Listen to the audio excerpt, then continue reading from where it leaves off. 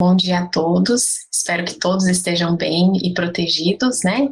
E nós vamos dar início à sessão pública de defesa da dissertação de mestrado do Jorge Luiz Santos Carlos, que é aluno do programa de pós-graduação em Ciências da Saúde. O Jorge vai ter até 50 minutos para fazer a sua apresentação e em seguida ele vai ser arguído pelos membros que compõem a banca examinadora. E aí, de, de antemão, eu quero deixar aqui os meus agradecimentos à banca. Então, nós estamos muito felizes com a presença de vocês. Então, o doutor Gustavo, que é do Laboratório Sabin, a doutora Fernanda e a doutora Carolina. Então, Jorge, a palavra é sua e você tem até 50 minutos. Obrigado, agradeço a todos pela presença, pela atenção. E bom, vamos começar, né? É, o meu trabalho é intitulado Avaliação é, Comparativa uh, da Exposição ao Frio e Estimulação Beta-3 Adrenérgicas, adrenérgica em camundongos C57 BL6. É, antes de iniciar a, apresentação em si, é, eu começo contextualizando é, sobre esse trabalho. Esse trabalho ele faz parte de um outro trabalho um pouco maior, um pouco mais amplo, né, é, intitulado Metabolismo de Colesterol e Termogênese, é, estudo da termogênese no tecido adiposo em animais nocaute do receptor LDL que visa avaliar os efeitos de alterações do metabolismo da, da lipoproteína de baixa densidade, LDL, sobre a termogênese adaptativa por abordagem genética com emprego de animais nocaute e aí também com comparação uh, utilizando animais que, que não sejam nocaute, animais wild type, né? Então, é, e, e, que sejam expostos tanto ao frio quanto em uso de agonista beta-3 adenético. Né? Nesse, e, e aí esse, esse outro trabalho, é, a gente inclusive era inicialmente o nosso plano, só que ele ficou muito grande para o tempo do mestrado, que é curto. Aí acabou que a gente não conseguiu reproduzir esses animais, a gente teve alguns problemas né, nesse, por conta disso. A gente acabou fazendo esse, o trabalho como ele como ele está hoje, como a gente está apresentando agora. Tá. Além disso, é, eu aproveito para contextualizar para vocês que nós tivemos devido à, à pandemia pelo coronavírus algumas dificuldades em executar alguns, alguns testes, algumas coisas que nós gostaríamos de ter feito para esse, esse trabalho, né? inclusive ao final, é, eu vou apresentar algumas perspectivas futuras para esse trabalho e elas estão relacionadas exatamente ao que nós gostaríamos de ter feito uh, e que acabou sendo impossibilitado pelo momento que estamos vivendo. Bom, é, Para iniciar, é, eu vou falar sobre obesidade, que é um, um problema de saúde global, né? É, a gente tem hoje uma, uma, além da pandemia de, de Covid, né? A gente também tem uma pandemia de obesidade. Nós temos uma, uma, uma quantidade muito grande de, de pacientes ao, ao redor do mundo com sobrepeso e obesidade, tá? É, e a obesidade hoje ela afeta tanto adultos quanto crianças, é, sendo, sendo das crianças uma questão bem séria e bem discutida. E além da a obesidade vai acarretar em outras disfunções metabólicas, né, como resistência à insulina, dislipidemia e hipertensão, que são frequentemente encontrados nesses pacientes uh, obesos e que estão é, associados a uma morbimortalidade é, significativa, principalmente é, nos indivíduos adultos. É, aqui eu trouxe um dado nacional é, do IBGE, tá? que eles, eles fizeram uma pesquisa que eles divulgaram no, no ano de 2020, mas foi feita em 2019. Tá? É, o percentual de pessoas obesas em idade adulta no país, mas que dobrou nos últimos 17 anos. Quando a gente tinha é, em dois, entre 2002 e 2003, por volta de 12,2% de pessoas obesas no país, hoje nós já passamos para 26,8%, né? Hoje, digo em 2019. É, e no mesmo período, a, a, população, a proporção da população adulta com excesso de peso passou de 43,3% para 61,7%.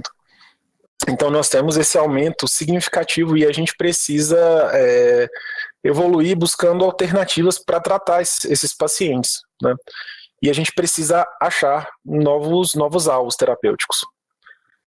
É, então, é, o que, que acontece? Basicamente, assim, um resumo né, de como é que ocorre a obesidade. Você tem um aumento do consumo calórico pelas pessoas, um menor gasto de energia, e aí é, a, a, o momento que a gente vive de, de toda uma é, virtualização, de toda uma, uma questão de, de, realmente minimizar essa a dinâmica da vida das pessoas, tem feito com que elas tenham é, esse aporte energético maior, tem mais disponibilidade de comida e uma menor, um menor gasto energético ao longo do tempo. Então, com isso, é, a gente tem esse é, é, caracterizado esse aumento na prevalência de, de pessoas com obesidade, sobrepeso e doenças metabólicas e cardiovasculares. Então, a gente precisa de alternativas seguras para para poder tratar essas pessoas, porque a gente, a, além da, da, da, mudança de estilo de vida, a gente também precisa, em, na maioria dos casos, é, de novos alvos terapêuticos, porque não se trata só de uma questão, é, como eu diria, não, não, se trata só de uma questão matemática aí mesmo, de, de, só o consumo calórico e o gasto energético. A gente tem outras questões, como questões genéticas, questões epigenéticas, é, entre outras. E aí, assim, para falar rapidinho, eu vou. É, depois eu vou detalhar sobre os adipócitos, mas é, quando, quando a gente tem pacientes obesos, né, é, a gente tem uma diferença na, no tecido adiposo desses pacientes. Tá? Primeiro, eu, eu trouxe aqui, nessa figura, um tecido adiposo de uma pessoa que está com seu estado nutricional normal, tá? Pessoa magra, então você vai ver que você tem você tem células sistema de defesa junto com, os, com tecido, dentro do tecido adiposo e esse aqui é um tecido adiposo funcional. Você vê que as células estão em tamanho normal, elas não, não têm uma hipertrofia desses adipócitos, tá? Já num, num paciente obeso, você vai ver um aumento principalmente de macrófagos e mastócitos, tá? Você vai ver uma, uma inflamação. Você forma é, uma espécie de inflamassoma dentro desse, desse tecido, e você vai ter também a hipertrofia da, dos seus adipócitos. Você pode ver que esses adipócitos representados aqui eles estão bem maiores do que uh, os adipócitos do, do, do, indivíduo normal. Então, isso, é, como o tecido adiposo é um tecido endócrino, você vai causar uma disfuncionalidade nesse paciente. Então, você vai ter um, um, um indivíduo com, com tecido disfuncional, né? Vai ter, vai apresentar maior resistência à insulina, então tudo isso está caracterizado e está relacionado a essa característica inflamatória. E aí eu trouxe três diferentes tipos de, de adipócitos para explicar um pouquinho como é que funciona isso. Né? Nós temos o adipócito branco, que foi o, o primeiro adipócito, a gente achava que só existia o adipócito branco inicialmente. E aí o adipócito branco, é, ele visivelmente ele tem essa essa uh, a gotícula de gordura que na verdade é o depósito de triglicerídeos e e tem um núcleo mais marginalizado, ele fica mais à margem, né? O núcleo do, do adipócito branco.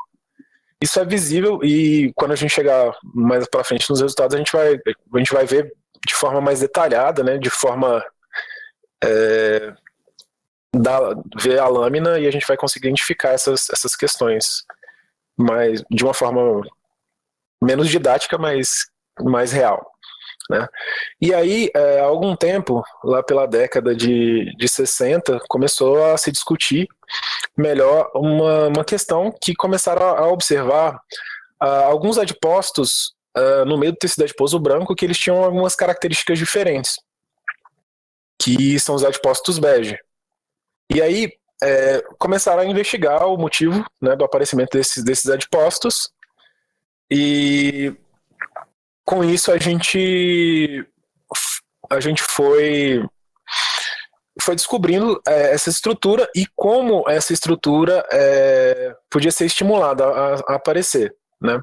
A gente tinha o, o alguns estímulos que foram identificados, por exemplo, como o frio, como, como estímulo fisiológico e, por exemplo, o agonista beta-3 como um, um, estímulo farmacológico para o que a gente chamou de amarronzamento do tecido, né, o amarronzamento do tecido adiposo.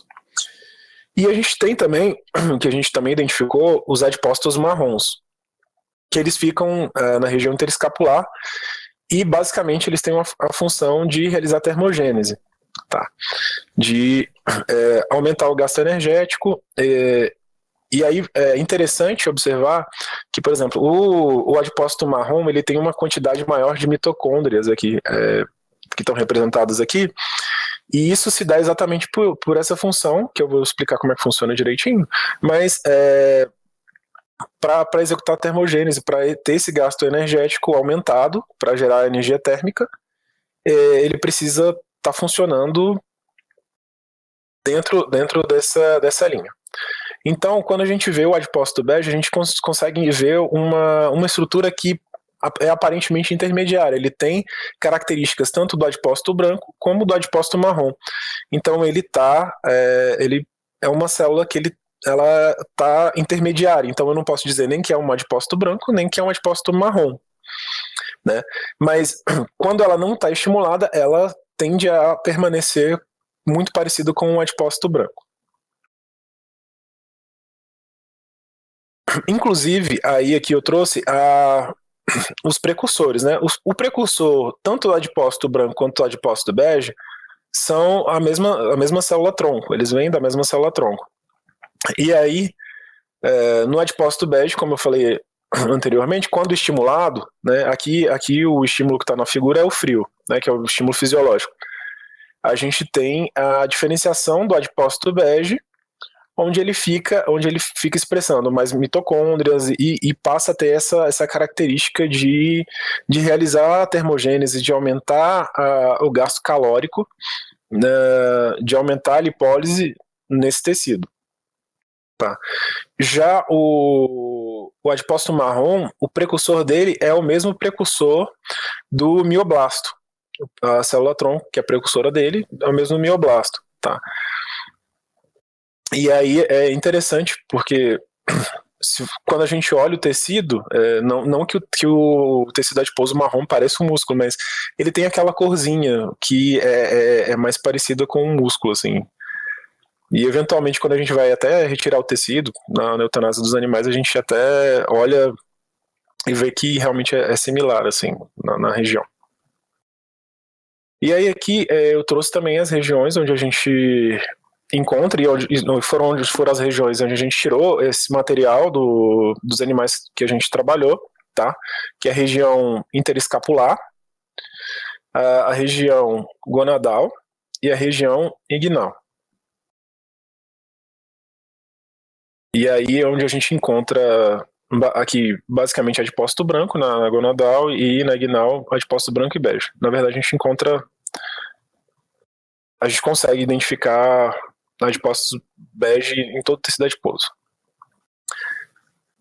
É... Aí aqui uma só sinalizando os locais onde a gente consegue identificar esses adipócitos nos seres humanos, né? A gente tem supraclavicular, especialmente aqui a gente tem um pouco de adipócito branco, bege marrom. É, marrom aqui na, na, nessa região interescapular e aqui a, a, próximo aqui ao pescoço. E basicamente no abdômen a gente vai encontrar é, adipócito branco e adipócito bege. E aí eu vou falar um pouquinho sobre a, a termogênese, só aqui de uma forma mais geral, e depois eu eu avanço com relação à, termogênese e os estímulos, tá? Bom, algumas coisas podem, podem gerar e podem potencializar a, a glicólise e, e a oxidação de ácidos graxos, né? Algumas sinalizações, por exemplo, e que, e que vão ser de, feitos de forma diferente na célula, que vão gerar termogênese, tá? Então, o estímulo pelo frio, a, o estímulo adrenérgico com norepinefrina, o estímulo adrenérgico com fármaco. Já, já se descobriu que tem aparentemente a irisina também é, realiza esse, esse tipo de, de sinalização, esse tipo de estímulo.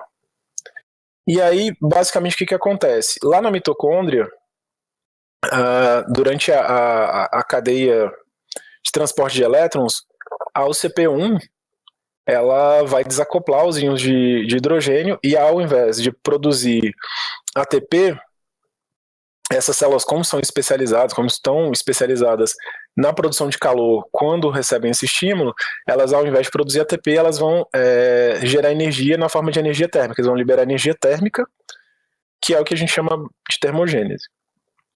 E aí eu, eu quis trazer aqui o, o estímulo, como é que ocorre o estímulo fisiológico, né? A, a gente tem a, a termocepção pela, pelo, pela pele, né? E, e aí a gente recebe, a partir desse sinal, a gente recebe um sinal nervoso que vai levar, levar à liberação de norepinefrina. A liberação de norepinefrina ela vai ativar os nossos adipócitos. No adipócito branco, ela vai ativar a lipólise normal. No adipócito bege, ela vai levar a diferenciação do adipócito bege, ela vai é, levar a uma transição de sinal que vai aumentar a expressão de UCP1, é, que também essa, essa questão da, da expressão de UCP1 também fica aumentada no adipócito, no adipócito marrom, e com isso a gente vai ter uma essa geração de energia térmica. Como eu tinha explicado antes, ao invés da gente, é, na cadeia de transporte de elétrons, ao invés da gente produzir ATP como forma de energia, a gente vai produzir energia térmica desacoplando esses íons de hidrogênio e formando energia térmica, liberando energia térmica por, esses, por essas células. O objetivo geral do nosso, do nosso trabalho era caracterizar esse efeito do estímulo da termogênese do tecido adiposo em vivo em resposta à, à sinalização beta-3 adrenética e por exposição ao frio. O que, que acontece? A gente, como eu, como eu expliquei, né, a, a estimulação pelo frio, o que a gente acredita é que é, com a liberação da norepinefrina, a gente vai ativar um receptor beta-3 adrenérgico, certo? E aí com isso, é, será que a gente fala sobre a estimulação do, do, do receptor beta-adrenérgico? Será que é, é, comparável essa, essa, essa ativação, essa estimulação? A, a, comparação entre o fisiológico e o farmacológico, tá?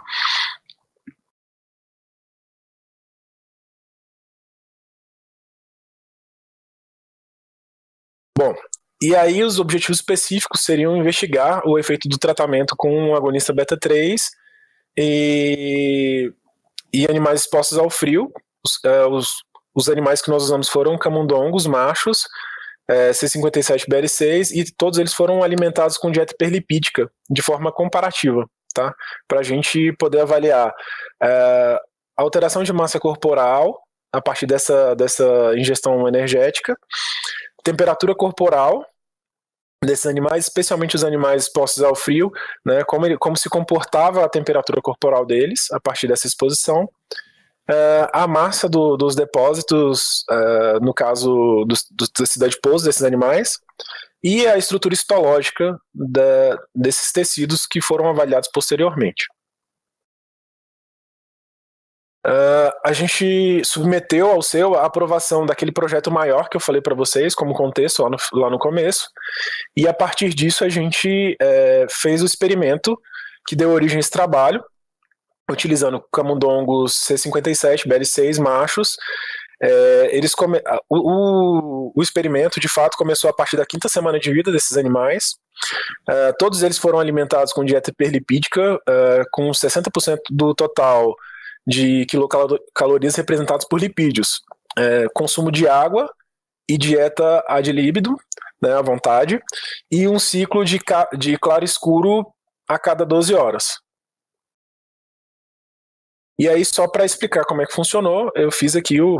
trouxe aqui o delineamento experimental. Então a gente tem.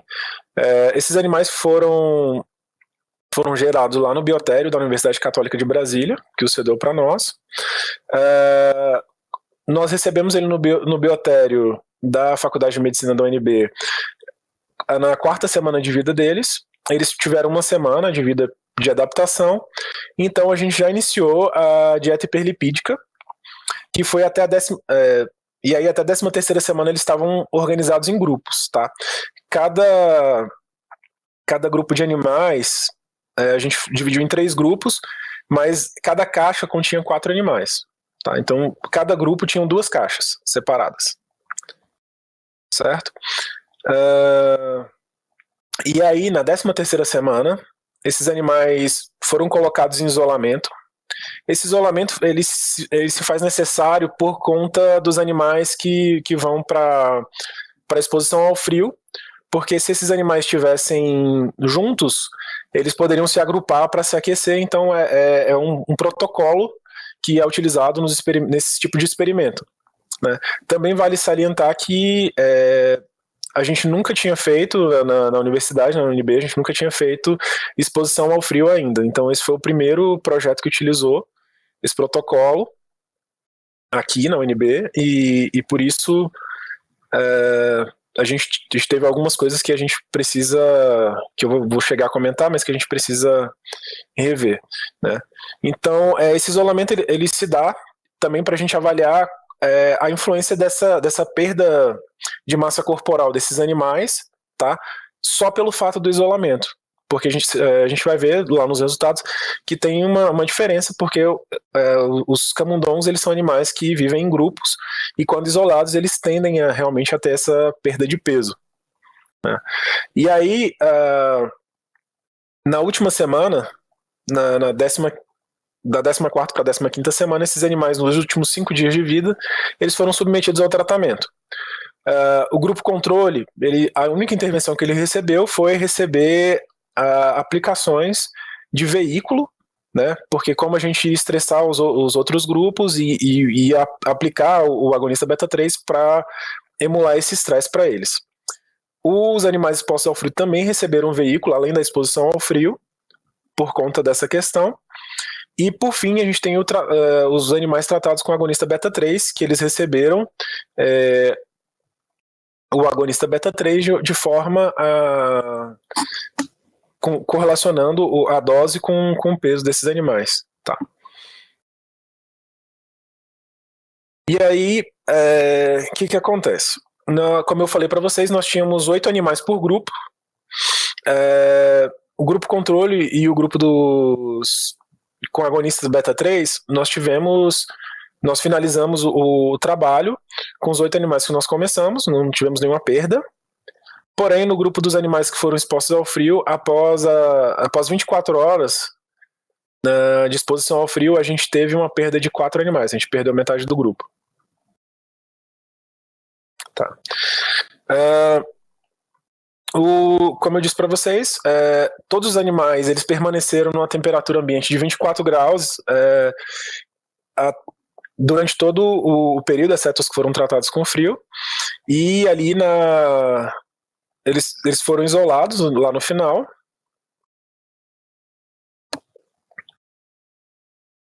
E aí, como já expliquei, como aconteceu a, a as aplicações. Tá?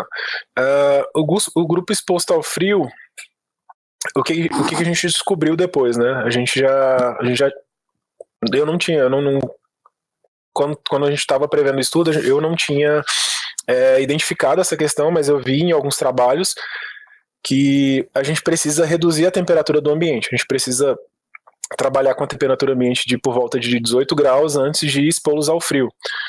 Porque se a, gente, se a gente pega esses animais de uma temperatura de 24 graus e coloca ele e submete eles ao frio, a gente tem realmente um, um aumento na, na mortalidade desses animais. Então, é, a gente, eu, provavelmente o, o, fato do, dessas perdas estão vinculadas a, a essa, essa questão da temperatura. E aí é um, é um fato para a gente se atentar nos próximos experimentos de, de exposição ao frio, que a gente precisa ter um controle maior sobre essa questão da temperatura do ambiente e antes, antes da exposição ao frio, de fato. Uh, e aí eu já expliquei como é que funcionaram os protocolos. E aí vamos passar aos, aos resultados, né? Então a gente tem aqui é, a massa corporal desses animais. Uh, a gente tem no período até a, 14 quarta semana. Eu coloquei lá em cima, eu tinha eu só no delineamento lá, eu só troquei que eles foram individualizados aqui, né? E o tratamento ocorreu na 15ª semana.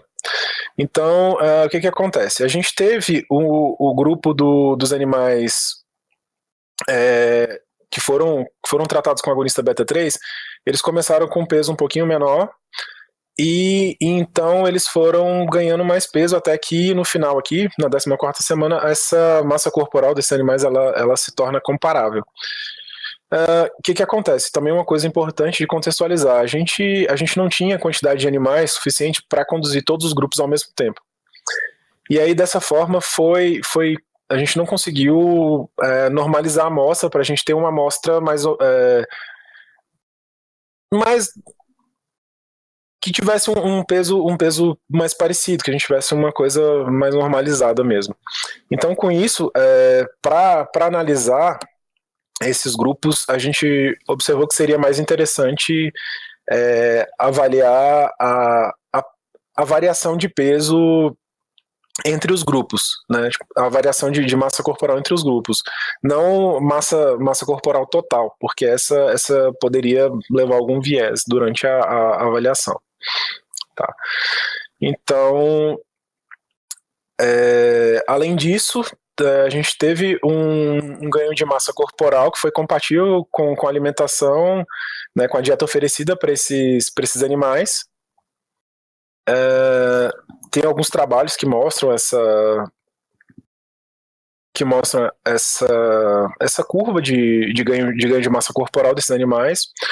É, eles geralmente alguns, a maioria dos dados que eu apresento aqui são dados que, que acabam sendo menos apresentados. As pessoas trabalham mais com, com dados de biologia molecular, com dados de, de expressão gênica, para avaliar a termogênese em si.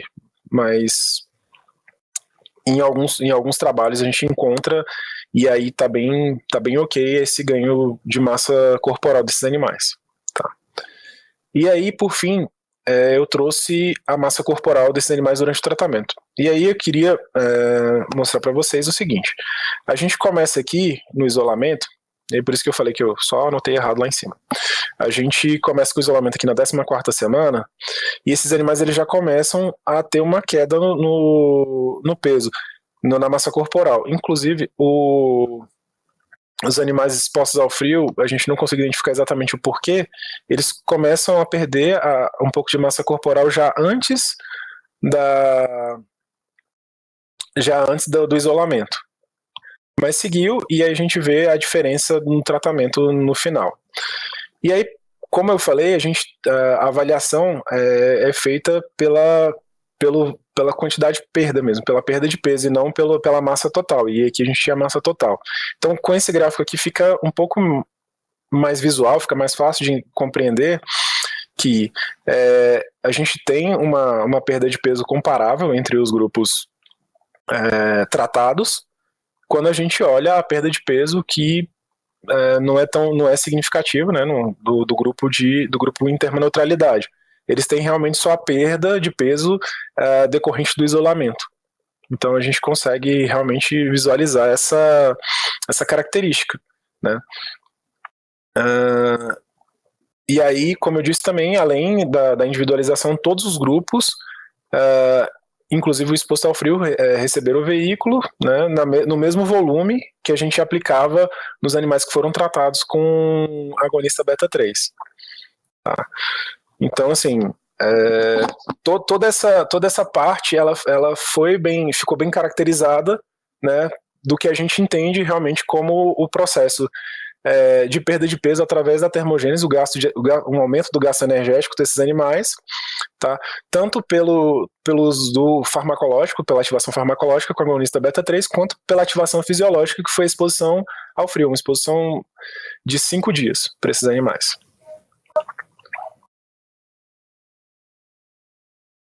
Uh... E aí, é, a gente também pode. Pode ver aqui, deixa eu só voltar ali para mostrar para vocês no, no gráfico, que aqui, ó, aqui quando inicia o tratamento dos animais expostos ao frio, a gente tem uma, uma pequena perda uh, de massa corporal muito aguda, assim, que a gente não, não espera, né? E aí depois ele, ele volta a subir um pouquinho e ele continua perdendo. Isso, isso pode, a gente acredita que tenha sido causado por, pelo que a gente chama de remodelamento, tá, da, da microbiota desses animais, é, pela exposição ao frio. A gente pode, a gente acredita que essa, esse remodelamento levou a uma perda mais brusca e que é, ela volta a em que ele, ele recupera, mas ele volta a perder é, massa corporal. E isso, isso a gente consegue ver em alguns outros trabalhos também, e é interessante a gente avaliar por, por, sob essa perspectiva também. Uh, os tecidos, de forma de forma geral, a gente não tem uh, uma diferença estatística entre esses entre, entre os tecidos, tá? Uh, tanto o tecido adiposo marrom, tecido adiposo branco, visceral, inguinal, uh, não tiveram não tiveram uma uma diferença estatística. A gente esperava que realmente tivesse, tá? Uma, uma diferença, especialmente com relação ao tecido adiposo marrom, devido a um consumo lipídico e, e a termogênese, né, a gente esperava que, esse, que tivesse uma diferença na massa desse tecido, na, na, na massa desse tecido adiposo, uh, e no tecido adiposo branco a gente esperaria uma redução da massa também é, devido ao ao amarronzamento do tecido e, e o aumento do, do consumo lipídico, né, da, da, da oxidação dos ácidos graxos nesse tecido. Com relação à temperatura corporal, é, a gente consegue observar de forma uh, característica. A gente foi, foi, a gente utilizou um termômetro a laser mesmo para aferir a temperatura corporal desses animais, tá? Uh, com com o agonista beta 3 uh, é, que estava na mesma temperatura dos animais que, que do grupo controle, né, os, os, animais tratados com agonista beta-3, a gente vê um leve incremento na temperatura corporal, é, que é esperado, uma vez que eles estão realizando termogênese né, nesse ambiente, então a gente conseguiu identificar. E de forma muito muito satisfatória também, os animais expostos ao frio, eles iniciam né, com a temperatura mais baixa, que eles sofrem ali pela exposição ao frio, e aí você consegue ver é, que eles estão realizando termogênese uma vez que eles vão restabelecendo de, da, forma, da melhor forma possível, né, uma temperatura corporal média dentro daquele ambiente ali onde eles seguem expostos ao frio. É, lembrando que eles ficaram expostos ao frio durante todo o tempo do, do tratamento. Então, é, eles ficaram lá na estufa, que eu mostrei para vocês, só com essa. Ele, é, a única o único momento onde eles saíam de lá era do, pra, onde gente, no momento em que a gente fazia a pesagem e aplicava uh, o veículo na, nesses animais. Uh, e aí, uh, por fim, a gente também, quando a gente ia fazer essa, quando a gente ia pesar esses animais e, e aplicar o, o veículo ou o agonista, né, a gente fez algumas, algumas imagens termográficas.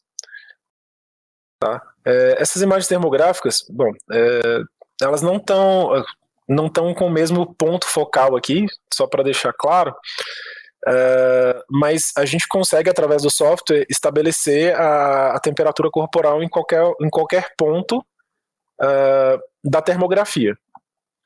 Tá? Mas o que, que acontece? Assim, a gente conseguiu observar, a gente observa que esses animais têm uma temperatura mais. É, os animais tratados eles têm uma, uma, uma, temperatura mais uniforme do que os animais uh, do grupo controle. Só mostrar aqui os animais tratados com, com agonista beta-3 adrenérgico. Então, o que, que acontece? É, a gente consegue comparar isso. A gente poderia ter feito algumas outras coisas, mas a gente uh, achou trabalho que mostra que o uso de termografia uh, não é um método adequado para avaliar a capacidade termogênica uh, da termogênese adaptativa de tecido adiposo marrom, porque ela não consegue identificar de forma satisfatória uh, a correlação com o pico metabólico e, e outras alterações previstas, né, tanto na estimulação beta-3 adrenérgica quanto na exposição ao frio. Então, dessa forma, dessa forma a gente acabou, é, a gente tinha feito esse, esse, a gente explorou esse dado, mas era um dado que no final ele não, não trazia muitas respostas, então a gente só a gente está apresentando, porque a gente realmente realizou, mas é um dado que não diz tanto assim para a gente. E aí, por fim, eu trago a, a histologia, né? E aí, como eu estava falando lá no começo, a gente consegue identificar aquelas características nesse tecido. Vamos lá.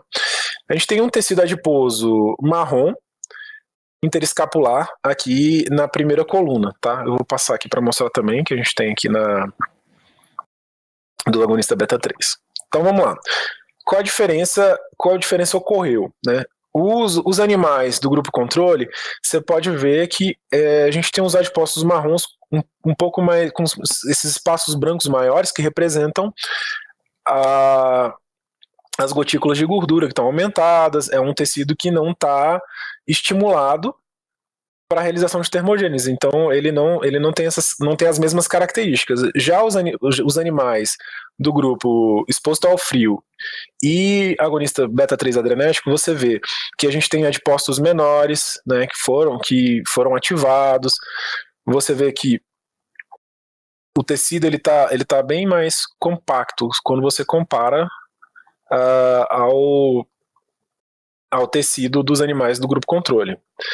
No, no tecido adiposo branco, ignal, a gente consegue observar adipócitos maiores, com aquelas características que eu falei, né? Um, um, como eles estavam todos em dieta hiperlipídica, a gente tem um adipócito hipertrófico, a gente tem um núcleo marginal, né, um núcleo marginalizado, como é característica do, do próprio adipócito. Mas, quando a gente vai olhar os grupos tratados, a gente já consegue identificar, especialmente aqui ó, no grupo dos animais expostos ao frio, é, o amarronzamento do tecido, que é uma diferenciação no tecido onde a gente consegue ver adipócitos menores e a gente ainda consegue ver umas características, e olha, que lembram as características desse tecido adiposo marrom aqui, né? A gente consegue ver nessa, nessa região aqui central, a gente consegue ver melhor. E aí, isso caracteriza para a gente que o, o tratamento foi foi efetivo, né? Que a gente conseguiu realmente remodelar esses tecidos. Já no tecido adiposo epididimal, a gente basicamente não tem é, uma diferença tão grande. A gente tem uma diferença de tamanho de adipócito, mas a gente não tem é, caracterizado tanto, tanto essa termogênese. Tá?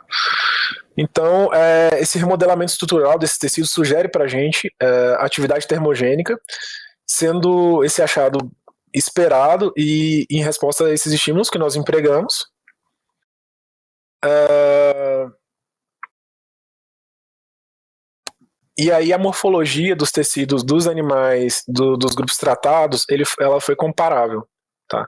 A gente consegue comparar entre elas, né, a gente vê como são, como são próximas e como são totalmente distintas, né, como são bem distintas da, das características do grupo controle, né, que levam a gente a acreditar que realmente esses animais é, passaram pelo, tiveram o efeito da termogênese. Bom, é, para concluir, essas alterações desses, desses animais tratados foi comparável, tanto com relação à massa corporal, no final, a, a massa adiposa foi comparável, mas como eu disse, não, não, a gente não, não teve uma, uma alteração que, que, que a gente pudesse ter alguma, alguma definição, ter alguma coisa que caracterizasse melhor. E, por fim, as características histológicas do tecido adiposo é, dos alimentos dos animais uh, alimentados com dieta hiperlipídica, elas e tratados com e tratados, né? Elas são comparáveis e, e nos levam a acreditar, a crer, né? Por esses dados que realmente é, houve termogênese desses animais. Uh, e aí, como perspectivas futuras para esse trabalho, como eu disse, foram algumas coisas que nós não conseguimos realizar devido às condições é, do período a gente gostaria de ter feito a avaliação molecular da expressão de RNA mensageiro nesses tecidos, especialmente para avaliar a presença de, de, é, de mRNA para o CP1, que é um marcador muito, muito quanto mais assim, de, com relação a, a termogênese, então seria uma, uma comparação que, que nos auxiliaria a caracterizar essa comparabilidade entre, entre os dois tecidos, e também seria interessante a gente é, avaliar a interferência da dieta nesse, nesse processo. Né? E aí seria, seria ideal que a gente conduzisse um, um grupo com dieta normolipídica para fazer essa, essa comparação. Então, essa, essa também é uma perspectiva futura para esse trabalho. No mais, eu agradeço a atenção de vocês, agradeço a banca, agradeço a professora Angélica, né? E muito obrigado, gente. Obrigada, Jorge, foi bem pontual. É, nós vamos então passar né, a palavra para a banca, e aí, seguindo o regulamento do nosso programa, eu vou começar convidando a doutora Fernanda, que é o nosso membro externo. Vocês estão me ouvindo? Estamos. Uhum. É, bom dia. É um prazer estar aqui com vocês, participando dessa banca. Adorei ler esse trabalho, gente. Me senti no laboratório.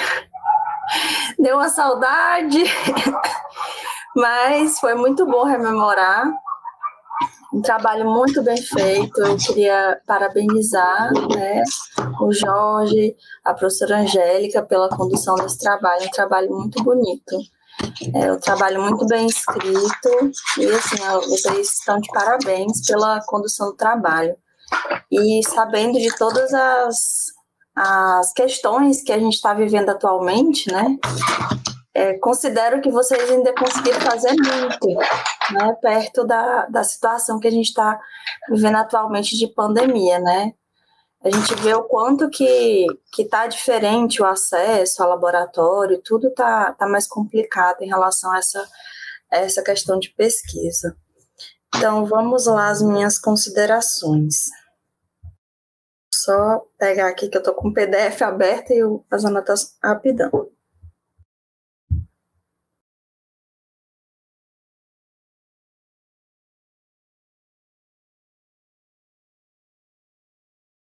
Eu gostei muito da apresentação, Jorge, parabéns. Eu considerei que foi, foi bem pontual, como disse a professora Angélica, e você conseguiu é, colocar né, o conteúdo de maneira bem clara.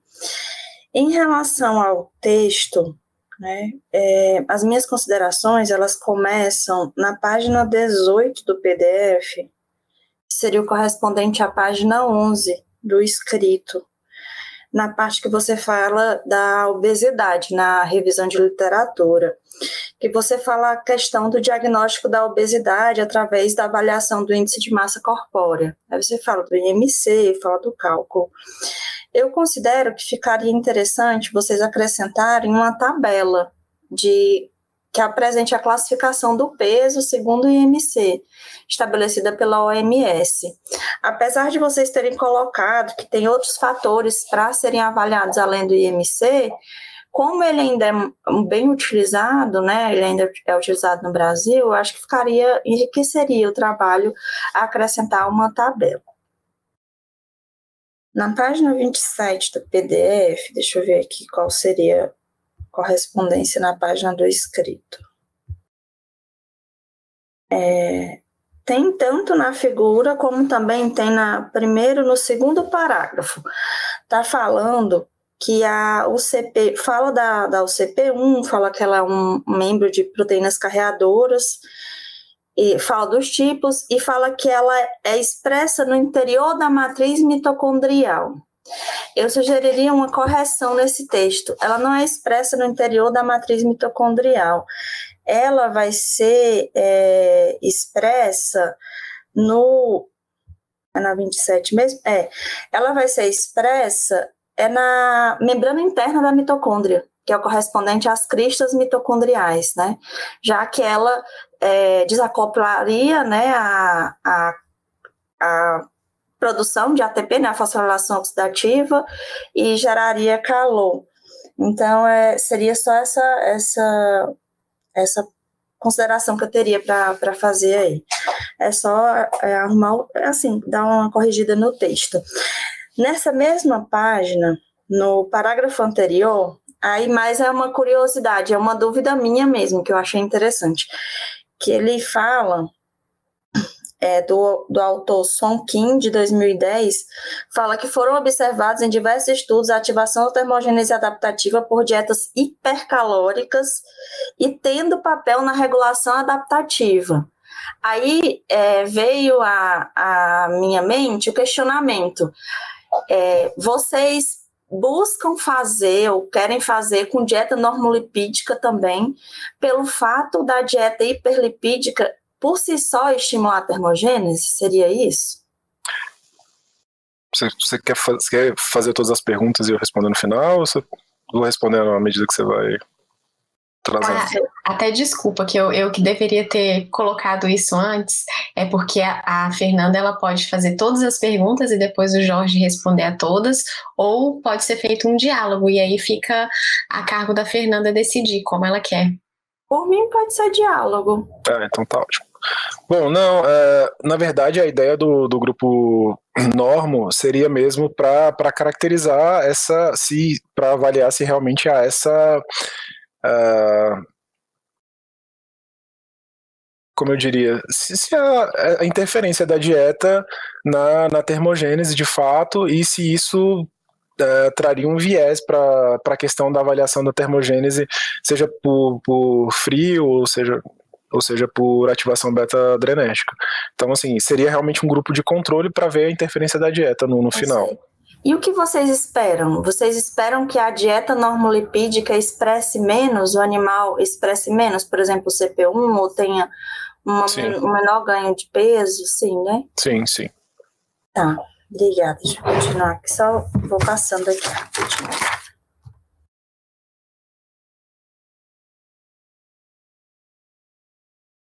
Na página. Tem algumas considerações que eu fiz, Jorge, que são em relação à questão de, de texto, de escrita. Quando eu terminar, eu mando para você por e-mail o, é, o PDF com as minhas observações, tá? Ótimo, Vou falar mais só das, das considerações que eu considero, assim, das observações que eu considero mais importantes. Ok, obrigado. Vou continuar aqui rapidão. Esse próximo é na página é, 33, que seria a página 26 do escrito, a 33 do PDF. É no final que ele fala assim, ó, é, é seria, eu, eu acho também que deve ter sido algum erro de digitação, porque fala assim, ó, é, que nas mitocôndrias dos adipócitos marrons, devido aos baixos níveis de ATP sintase e níveis mais elevados de CP1, o estímulo à termogênese ocorre. Isso se dá através do desacoplamento dos prótons na respiração pelo CP1, gerando ATP no lugar da ATP sintase. No caso, seria gerando calor, não? Sim, exatamente. Tá, tá com a. Tá é. escrito errado. Isso, porque aí como faz o desacoplamento, então pela termogênese ocorre a geração de calor. Sim. Então, continuando. Certo, agora em relação à parte do delineamento experimental, né? Aí fala de animal, eu já me empolgo, né, professor? Dá vontade de voltar para o laboratório. A vontade que tem é de estar lá com a mão na massa. Então, é, na página 35, né, que você fala que é, você fala a respeito do delineamento experimental, que aos 35 dias de vida os animais foram divididos. Aí, aqui nessa parte, você não, não especifica como foi essa, essa divisão, se ocorreu randomização, se não ocorreu randomização. Quando chega lá na parte do artigo, que é no capítulo 2, você explica um pouco melhor isso. Aí você uhum. fala a respeito do, da questão da disponibilidade dos animais, que vocês tiveram alguns problemas em relação à disponibilidade dos animais. Eu considero que seria interessante já aqui você falar um pouco dessa, dessa questão, porque é, fica a dúvida em relação a como que foi feita essa, essa randomização. E outra coisa que eu, que eu consideraria interessante é, incluir aí seria é, porque assim, lá mais abaixo, na página 36, lá no final da página 36, você fala que entre a quarta e décima terceira semana foram avaliados a massa corporal, o consumo de dieta.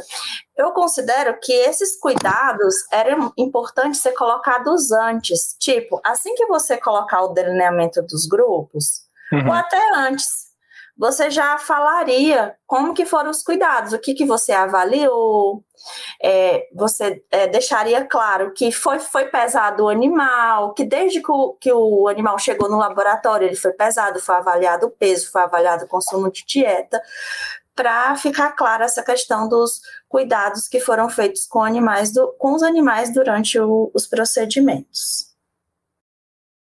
era é só a questão de subir o texto, né, para ficar, porque aí eu li, eu fiquei, e como foram os cuidados? Aí quando chegou mais embaixo eu via, ah, tá aqui os cuidados. Então, se ficasse antes já já ficaria mais mais claro, né? Ah, outra coisa, Jorge, na apresentação, você colocou um delineamento experimental que foi tipo um gráfico que ficou bem interessante.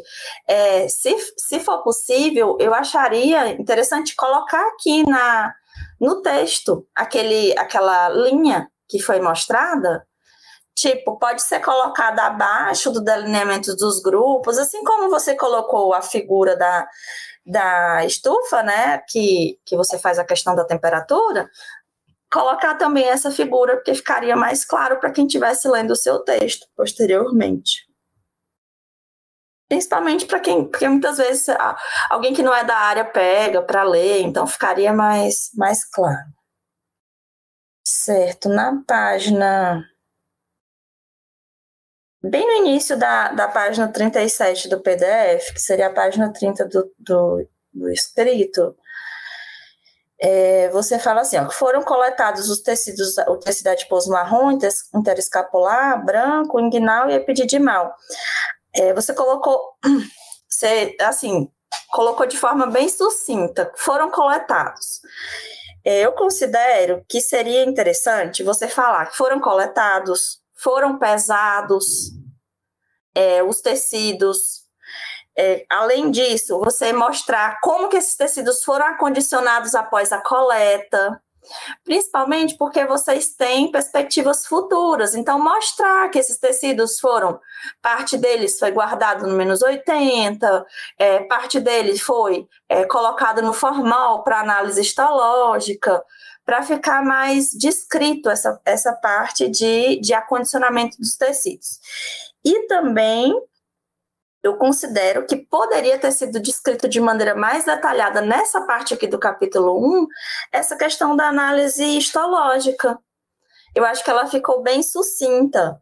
Então, ou, ou assim, ou colocar de maneira mais é, relatada, né, de maneira mais extensa, ou então colocar uma referência, colocar a histologia é, a parte da desidratação, a parte de coloração com corante de hematoxilina e eosina foi feita seguindo o protocolo tal, e citar uma referência.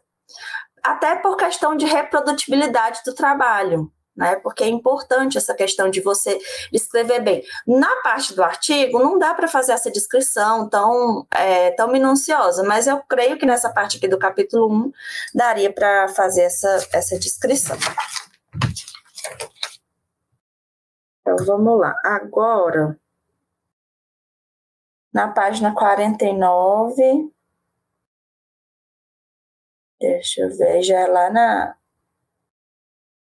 Já no, no artigo, né? Na parte do artigo. Que nela você fala da questão que a composição não foi determinada por distribuição aleatória, né? Aí nessa parte aqui você fala da, de como que foi feita a distribuição, que isso também poderia ter vindo antes lá no, na parte do, do capítulo 1. E assim, os, os resultados de vocês foram bons. Se tivesse havido a possibilidade né, de ter sido com, de, com essa distribuição de maneira aleatória, e a, eu não sei se a condução dos grupos foi feita junto, então, se, for, se fosse de maneira aleatória, se fosse junto, talvez os resultados de vocês ainda fossem melhores do que os resultados que, que vocês obtiveram. Porque, querendo ou não, a gente sabe que tem toda a questão do estresse, do tempo. Então, se todos forem submetidos ao mesmo estresse durante o mesmo período, os resultados ainda são, são melhor comparados. Né? Então, ficaria melhor ainda os resultados de vocês. A próxima observação é na página 51. Ah, aí, é essa questão que eu ia perguntar, se os grupos foram conduzidos separados. porque fala que, que na quinta semana, quando começou a administração, foi observado que o grupo controle apresentou massa corporal significativamente maior aos demais. Aí veio tá. essa questão. Eles foram, eles foram conduzidos separados. Na verdade, é, a gente observou ao final, né? No final, quando a gente estava com os dados, a gente conseguiu observar que tinha essa diferença, né? Que a gente não, não conseguiu, a gente não conseguia normalizar esses grupos porque eles, eles realmente correram de forma separada, porque eles tinham Exato nascimentos, nascimentos separados, né? Aí, Porque se fosse junto, aí vamos dizer, antes de começar o tratamento, a intervenção, aí vocês poderiam ter randomizado para distribuir entre os grupos. Né? E com isso vocês conseguiriam até resultados melhores da intervenção em si. Sim, Mas com certeza. ficou bom a forma como vocês é, colocaram de comparar cada grupo, o início, o início do grupo e o final do grupo, né, para avaliar essa questão da massa corporal. Certo, deixa eu ver aqui. Ah, na página 55. Deixa eu ver aqui, página 55.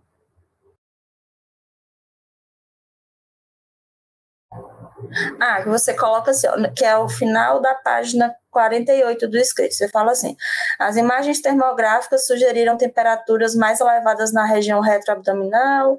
E você fala: a despeito do caráter não quantitativo dessa análise, observou que os camundongos é, apresentaram maior área em vermelho. É a minha pergunta, eu acho que você até respondeu ela na apresentação que eu queria saber se havia uma forma de fazer uma análise da imagem de maneira mais precisa. Tipo, algum... Sim.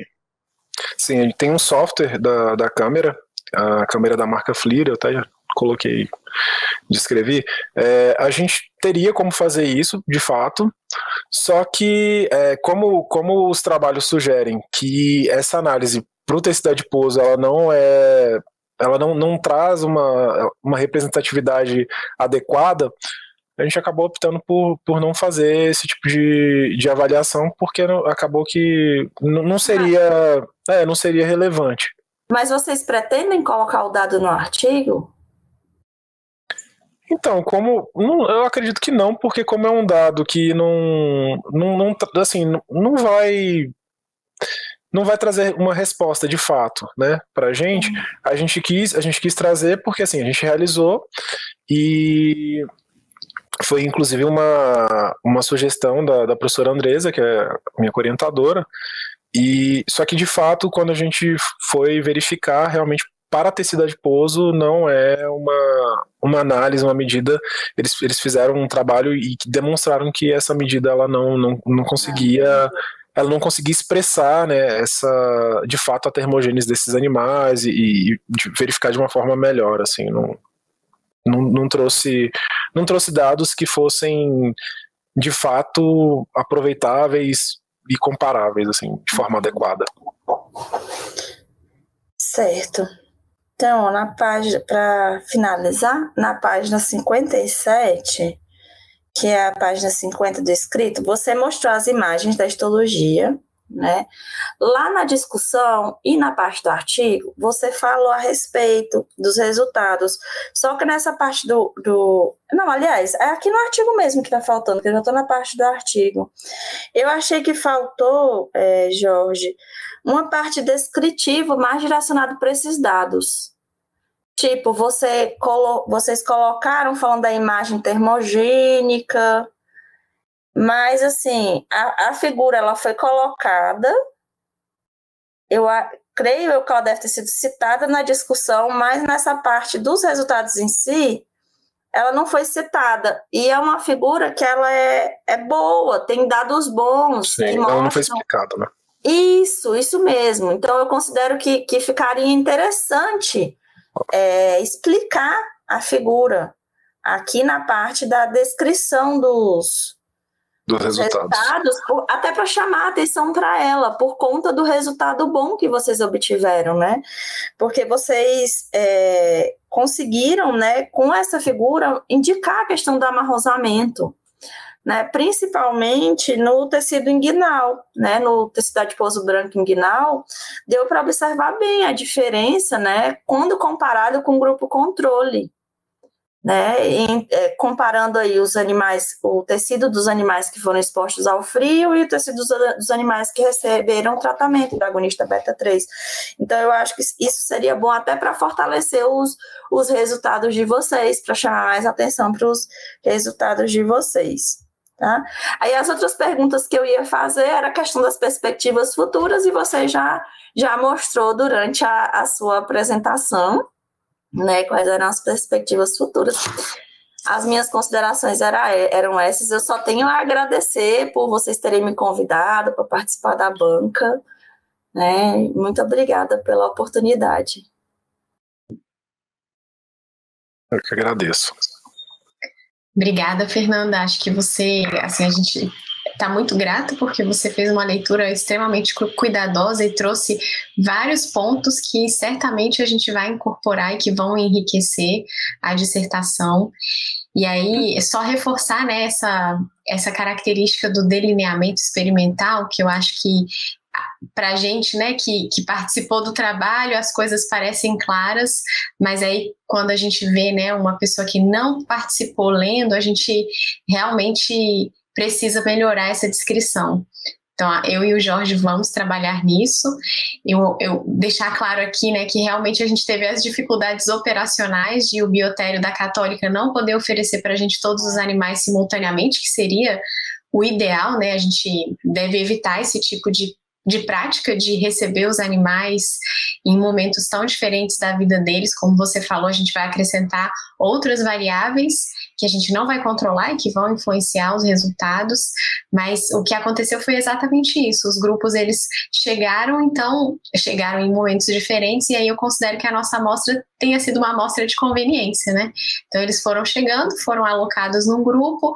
A gente considera que não houve grandes problemas porque ao final do período de dieta eles tinham uma massa corporal comparável, mas a gente não pode descartar que o animal que começou a vida com uma massa corporal menor, mesmo ele tendo recuperado o peso, ele possa ter diferenças metabólicas que vão impactar os resultados, né? Então, como por exemplo, uma criança que nasce pequena para a idade gestacional, recupera o peso, mas ela vai levar sequelas metabólicas para a vida adulta. Então, é uma, é uma limitação que a gente precisa realmente discutir. E uma outra pergunta que eu acho bastante interessante que você fez, que o Jorge respondeu direitinho, é em relação aos diferentes cenários de dieta, né? Por que é que a gente vai a gente pensou em fazer num cenário de dieta normolipídica e num cenário de dieta hiperlipídica. Então, essa questão de você documentar o desenvolvimento de obesidade em resposta à dieta, a gente só vai conseguir tendo um grupo alimentado com dieta controle. E em relação à intervenção, um outro aspecto também é que a gente não sabe como é que esses animais em diferentes dietas se comportam. Né? Então, tem essa questão da termogênese ser diferente no animal obeso em relação ao animal magro. Então, será que a, a resposta aos estímulos termogênicos é comparável nesses animais? E diferente daqueles com dieta normolipídica. E uma questão bem interessante que a gente tem, especialmente em relação à resposta ao frio, né, que seria o estímulo fisiológico para termogênese que nos estudos pode ser mimetizada pela sinalização beta-3 adrenérgica por um, uma abordagem farmacológica, é a questão do remodelamento da microbiota intestinal, como o Jorge colocou. Então, já é descrito né, que a exposição ao frio gera um remodelamento da microbiota intestinal, e por sua vez, esse remodelamento remodela o intestino, e aí o animal exposto ao frio, ele vai ter um, um, um remodelamento intestinal para conseguir absorver mais nutrientes e manter o processo de termogênese. E isso até explica porque que a partir de determinado momento, é uma das explicações, né, para o fato de eles não continuarem perdendo peso, porque eles absorvem mais nutrientes da alimentação e aí acabam mantendo tanto a termogênese quanto a massa corporal. E aí, como as microbiotas das dietas normolipídica e hiperlipídica são diferentes, a gente não sabe também qual é o impacto que isso vai ter na própria resposta da microbiota ao frio. Né? Então, foi outra, outra, outra questão que apareceu para levar a gente a considerar os dois cenários de dieta. Então é uma coisa que a gente ainda pretende fazer, né? Eu acho Daria que. para fazer outro trabalho. É, assim, é um, é um trabalho assim, bem. E o frio e essa questão. Bem de fisiologia mesmo, né? Será É. que os estímulos são comparáveis em resposta a diferentes cenários de alimentação? Mas eu acho que você ter trazido essas questões faz com que a gente reflita melhor sobre elas, né? Desde a maneira de a gente escrever aqui no trabalho, quanto a maneira de abordar essas questões do ponto de vista experimental. Então, acho que a, a sua, as suas contribuições foram extremamente pertinentes e, e vão ajudar muito a gente. Tá bom. Então, obrigada mais uma vez. Agora eu vou pa- passar a palavra para o Dr. Gustavo, e aí ele pode decidir também o formato da arguição. Angélica, obrigado. Jorge, vamos de bate-papo? Vamos, vamos sim. Tá ótimo. Bom, bom, primeiramente queria agradecer à professora Angélica pelo convite, estar aqui ah, conversando com vocês, assistir sua, sua, assistir sua apresentação e ler o seu trabalho. Eu entendo que ele é uma pecinha no quebra-cabeça que a Angélica está montando aí ao longo da carreira dela, que eu admiro muito. E gostei muito da sua apresentação, aprendi bastante. O texto também foi super fácil de ler.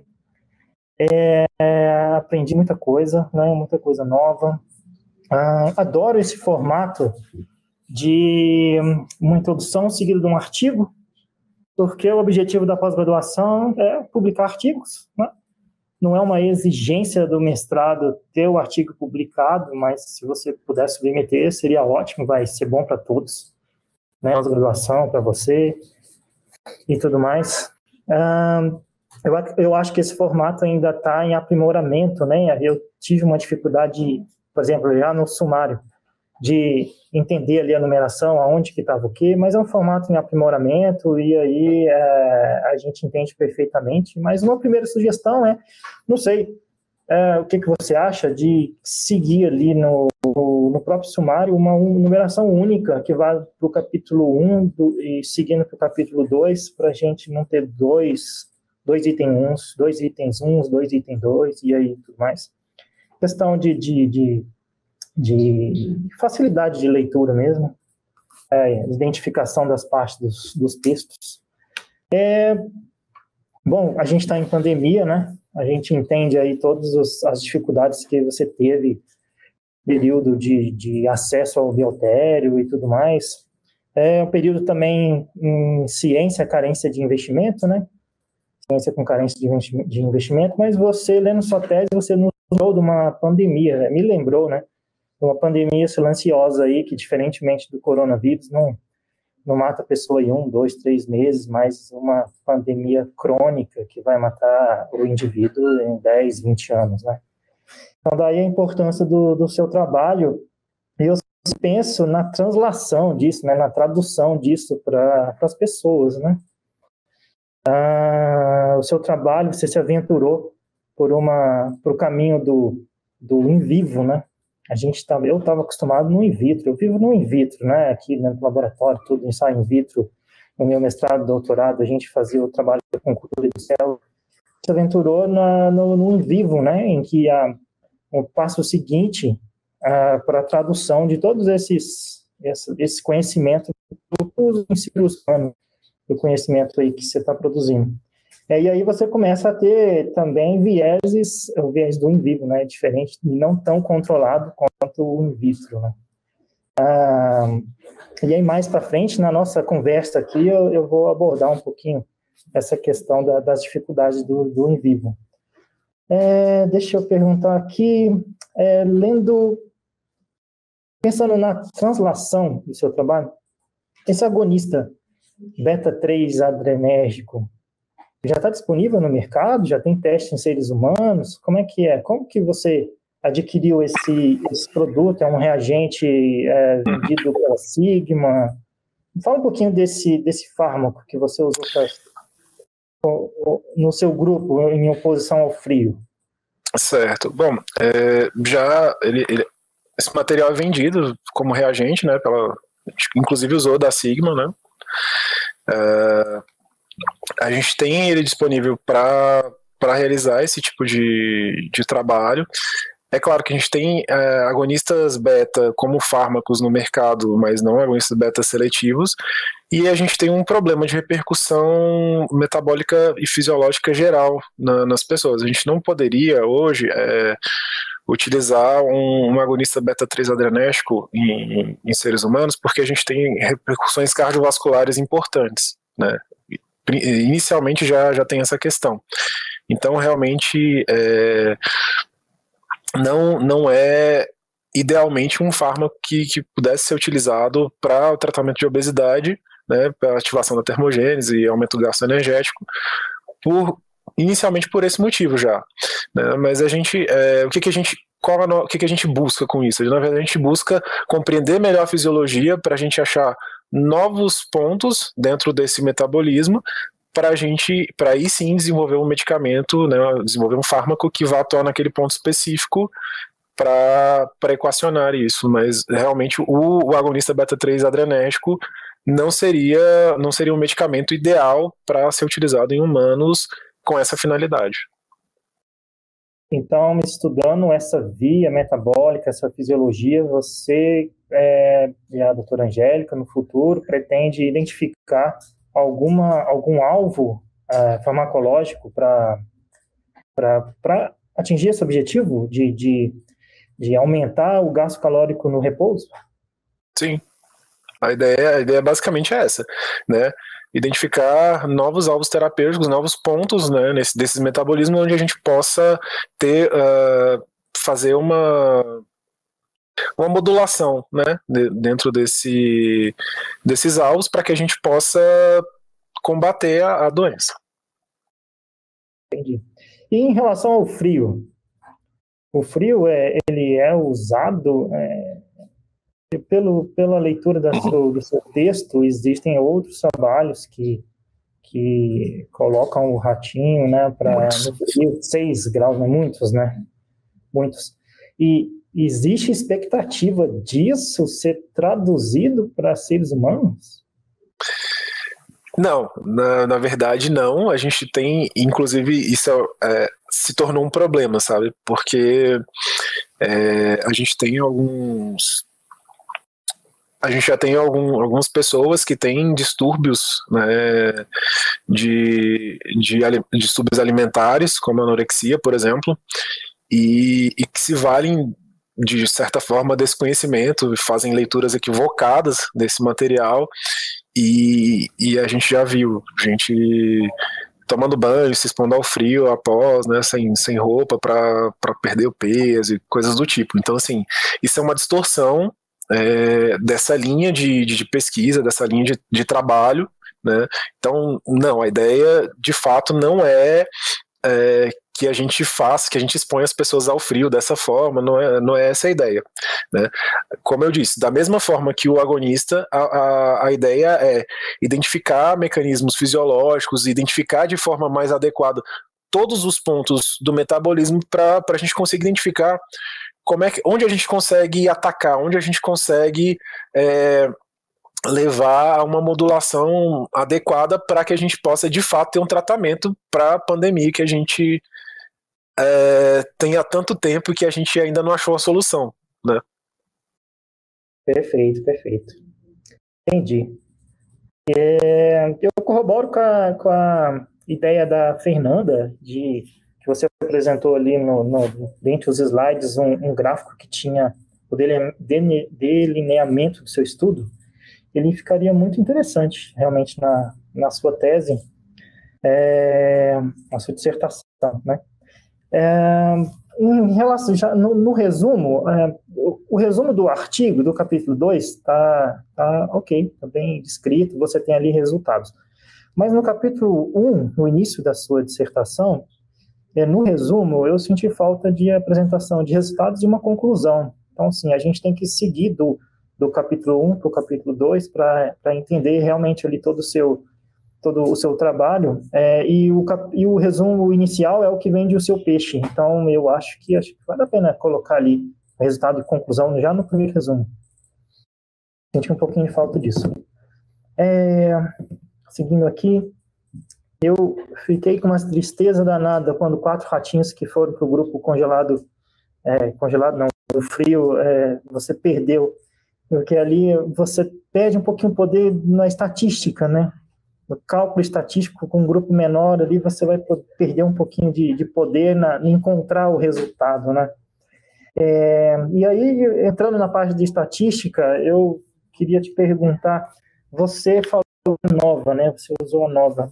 Existe alguma, uh, você fez uh, o, o análise da distribuição normal dos dados para ver se eram realmente paramétricas para poder usar a nova? Ou você pensou em alguma coisa, ou já pulou para, é, dispensou os testes não paramétricos para análise dos seus, dos seus dados? Olha, na verdade, foi meio, foi meio assim, a gente já, já programava para avaliar essa comparabilidade, fazer a, a nova e a gente acabou fazendo, não, acabei não, não fazendo de forma completa essa análise de, de se são ou não paramétricos, apesar de ter, no, ao, ao, final, conseguido analisar de uma forma razoável essas, essas questões. Entendi. Não, às vezes, na, durante a, a revisão do artigo, quando você for publicar, às vezes o, o, o revisor pergunta algo em relação a isso. Uhum. Não sei se vale a pena dar uma olhada se os dados são normais ou não. Atende a verdade, né? Sim. É, em, em, alguns dos gráficos, é, já pulando aqui, é, já indo para a parte da estatística, é, por exemplo, no gráfico da figura 1A, 1B, B, a gente tem ali indicado direitinho a, a diferença estatística e também na legenda, né? É, ok, agora tem uma, um outro gráfico aqui na, na figura 2, 2A, 2B, desculpa, na figura 2B, é, você, a gente imagina que tem diferença estatística aí do, da termoneutralidade para o frio e o, e o beta-agonista, é, mas não está indicado na figura. E também, aqui você fala que usou a nova, né? É, mas esse valor de P é do ANOVA ou é da comparação múltipla? Assim, existe diferença do frio para o controle? Existe diferença do agonista para o controle? É, Sim. o ANOVA diz que tem uma diferença entre os grupos, né? Aí depois você hum. vai para comparação múltiplas, que vai te dizer o que, que é que está diferente do outro, né? Sim. Então, assim, é, eu acho que ficaria interessante uma, o, o asterisco aqui nesse gráfico mostrando que os do, o frio e o agonista são diferentes do, do, do, grupo controle, né? Que esse aqui talvez seja o um, um, seu resultado mais é, graficamente, né? Mais é, relevante, assim, é uma, é, uma estatística mais robusta, né? De, de diferença, né? O, realmente o resumo do que você observou. O que, que você acha? Com certeza, não, eu concordo. É, realmente, ah, bom, só para explicar, esse, esse P é o P da nova mesmo, mas é, para para prefeito de, de, escrita, eu também é, avaliei o P da, da, da, comparação entre os grupos, tá? No, só para legenda que veio só o, o P da nova de uma forma geral, mas para para caracterização dessa, dessa, dessa comparação, eu realmente usei da comparação entre os grupos. Entendi. É, ok. E em relação ainda aos gráficos, ó, nesse, no, no gráfico da figura, ainda na figura 2B, uhum. eu vejo aqui embaixo dele, ó, quinto dia de tratamento, tracinho, primeiro dia de tratamento. É o contrário. É o contrário? Eu, eu, eu entendi, entendi. Então, eu fiquei em dúvida, assim, em relação ao que que esse, a nomenclatura desse eixo queria dizer. Então, eu acho que isso eu percebi em todos os gráficos. Eu não sei se tem uma forma de, de e não sei se precisa desse, dessa nomenclatura. Uhum. Não sei se precisa desses stickers aqui embaixo. Eu acho que você está mostrando aqui peso na massa corporal nos diferentes grupos. E aí iria na legenda, aí é o primeiro dia de tratamento e quinto dia de tratamento. Ou, ou, ou tem, ou tem grafo, ou tem barra faltando aqui que deu zero, por exemplo, no primeiro dia de tratamento. Não, tem não. Não tá faltando barra não, né? Não. Essa, essa aí é, é a perda média entre, o, entre os dias, tá? É a perda de massa corporal média entre os dias, entre os dias de tratamento. Perfeito. Então, eu acho que ficaria legal como título do gráfico. O que está escrito aqui, de uma forma invertida, como título. É, outra coisa também em relação a esse gráfico, que eu observei em outros, usando ele como modelo, é aqui falta a unidade, né? Perda de massa corporal. Bom, a gente hum, sim. Gramas, né? Mas está faltando a unidade. Aí você tá, só para lembrar vocês. É, deixa eu voltar aqui. Agora, o tempo de tratamento de cinco dias. É isso que a gente vê na literatura? É, mais tempo é, no, é adequado? Você acha que foi tempo suficiente para ver um efeito fisiológico em vivo? Você mostrou na, na, na você mostrou no peso, você mostrou no, nos cortes que já cinco dias foram suficientes. Uhum. Você acha que mais dias seria melhor, menos dias? É, cinco dias já é o suficiente para ter uma alteração da expressão gênica, isso virar proteína, isso ter alteração em vivo e tudo. Tá. É, o que, que, a gente, que, que a gente vê na maioria dos trabalhos? A gente tem, a gente tem uma divisão entre a, uma exposição aguda e uma exposição crônica. A exposição aguda é colocar por algumas horas exposto ao frio. Já a exposição crônica é, é essa que a gente fez, até, e geralmente o pessoal usa entre 5 e 7 dias. Tá? É, como, como a gente estava iniciando com esse trabalho, a gente não tinha feito essa exposição ao frio ainda, e, e a maioria dos trabalhos também é, tem, tem como, como foco trabalhar com cinco dias, e aí a gente escolheu realmente que fossem cinco dias. Né?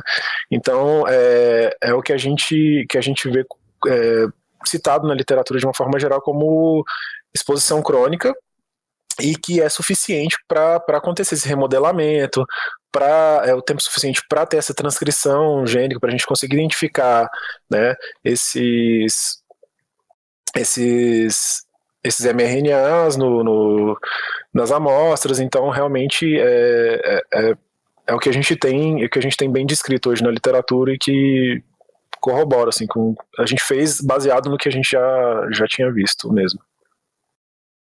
Entendi.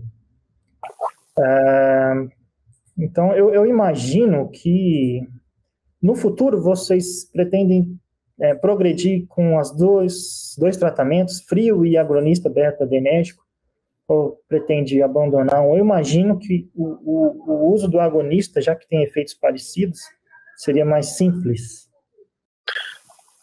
Sim, mas o uh, ah, que, que, que, acontece? É, só para contextualizar também a, a ideia né, que, do, da nossa pergunta, porque a gente sempre encontra na literatura as pessoas trabalhando como se a estimulação beta-3 adrenérgica pelo uso de fármaco e a estimulação fisiológica pelo frio fossem, é, fossem correspondentes, fossem comparáveis. Só que a gente, é, a gente não acha trabalhos descrevendo isso de forma de forma realmente comparar um grupo com outro, né? Então a nossa ideia realmente era essa, de, de pegar esses de pegar esses estímulos diferentes e falar, não, eles são comparáveis, eles realmente um realmente está é, muito próximo do outro em resposta ou não, eles não não tem nada a ver, as pessoas estão dizendo isso, mas não, não é um fato, né? Então a nossa pergunta era conseguir identificar se realmente são comparáveis ou não, né, esses efeitos. E até então, o que a gente achou é que são comparáveis. a gente precisa ver, né, como perspectiva futura, como a gente tinha falado, a gente vê a expressão gênica se essa expressão gênica também é comparável. Perfeito, entendi. E, e você acha que com o passar dos dias o grupo do frio poderia uh, apresentar um resultado diferente? Porque a gente vê uma, um, uma, um decaimento abrupto da massa corporal, uhum. depois recupera um pouquinho e se mantém, né? Uhum. Talvez, talvez no geral, uh, o, o, que esteja compensando essa perda de, de, de, peso seria o início, né? Agora, no, no grupo beta-adrenérgico, a gente vê um decaimento gradual, né? E uhum. não há uma estabilização com cinco dias. Você pode fazer diferença se esticasse um pouquinho mais na, na, nessa comparação tua nesse propósito que você está dizendo, em dizer que os dois são comparáveis? Se tivesse um pouquinho mais de dias? Você, você fala se, se o tratamento de ambos fosse por mais tempo? Isso. Olha, eu, eu acredito que não. Eu acredito que a partir daquele momento ali, é, o, a, a, o, o, grupo com beta-adrenérgico ele ia continuar com aquela, com aquela perda que, sim, menor, né? Ela vai, ao longo do tempo ela vai diminuindo. E é, como a professora Angélica também já explicou antes, tem é, para os animais expostos ao frio, tem a questão do remodelamento da microbiota. Né? Então a gente, o que, que a gente, o que, que a gente já observou em outros trabalhos, o que, que a gente é, tomou como base, né? Que isso, que que pode acontecer é exatamente isso. A partir da, da exposição, já a exposição aguda ao frio, já inicia esse, esse remodelamento. A gente já começa a identificar essa, essa alteração nas características desses animais, e aí por isso eles, eles têm essa, esse, não seria exatamente um reganho, mas eles têm um aumento da, da massa e uma manutenção, né? Porque é como se ele começasse a criar um, um equilíbrio ali, né, de absorção de nutrientes e, e, e de gasto energético.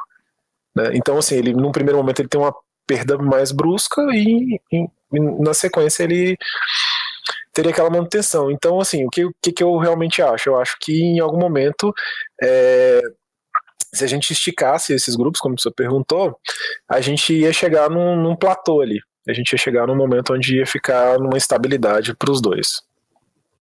Entendi. É, bom, você percebeu uma diferença no peso total dos animais, né, nos diferentes grupos. Mas quando foi medir o peso do tecido adiposo, não teve diferença. Né? É, que, que você acha que aconteceu isso? Por que, que o tecido adiposo não refletiu o peso total do, do, do, do animal? Então, uh, não, não era esperado. Eu, eu realmente acho que, que a gente deveria ter tido nos animais tratados uma redução né, nessa massa adiposa. Mas aí também tem um outro lado, que é o lado de da gente trabalhar com uma coisa mais. Uh, diria até assim, é, manual, né? Uma coisa, um trabalho mais. mais, mais uh, como é que eu explicaria? Mais artesanal. Pronto. Seria um trabalho mais artesanal que é da, da, da retirada dos tecidos, né? É, obviamente eu não retirei todos os tecidos sozinho dos animais, uh, então a gente tem, tem uh, essa, essa análise de massa, de peso de, de, de massa dos tecidos, né, a massa dos tecidos retirados, ela é uma, uma avaliação assim que ela é interessante, ela é importante, mas a gente não consegue, a gente não consegue garantir a homogeneidade da, das amostras, da, da retirada. A gente tenta ao máximo pela fisiologia, tirado da mesma forma e tudo mais, mas eventualmente a gente não consegue. Então, assim, tem diversos, diversos fatores que podem é, impactar nessa questão. Então, realmente, realmente é, é, um dado interessante, mas é um dado que nem sempre a gente vai conseguir é, torná-lo comparável. A verdade é essa. Entendi. É, você acha que pode ter perdido peso em outro tecido? Também. Também é, é, Porque assim, a gente tirou, a gente tirou, a gente coletou tecido adiposo de locais específicos, é, e obviamente esses animais têm tecido adiposo em outros locais.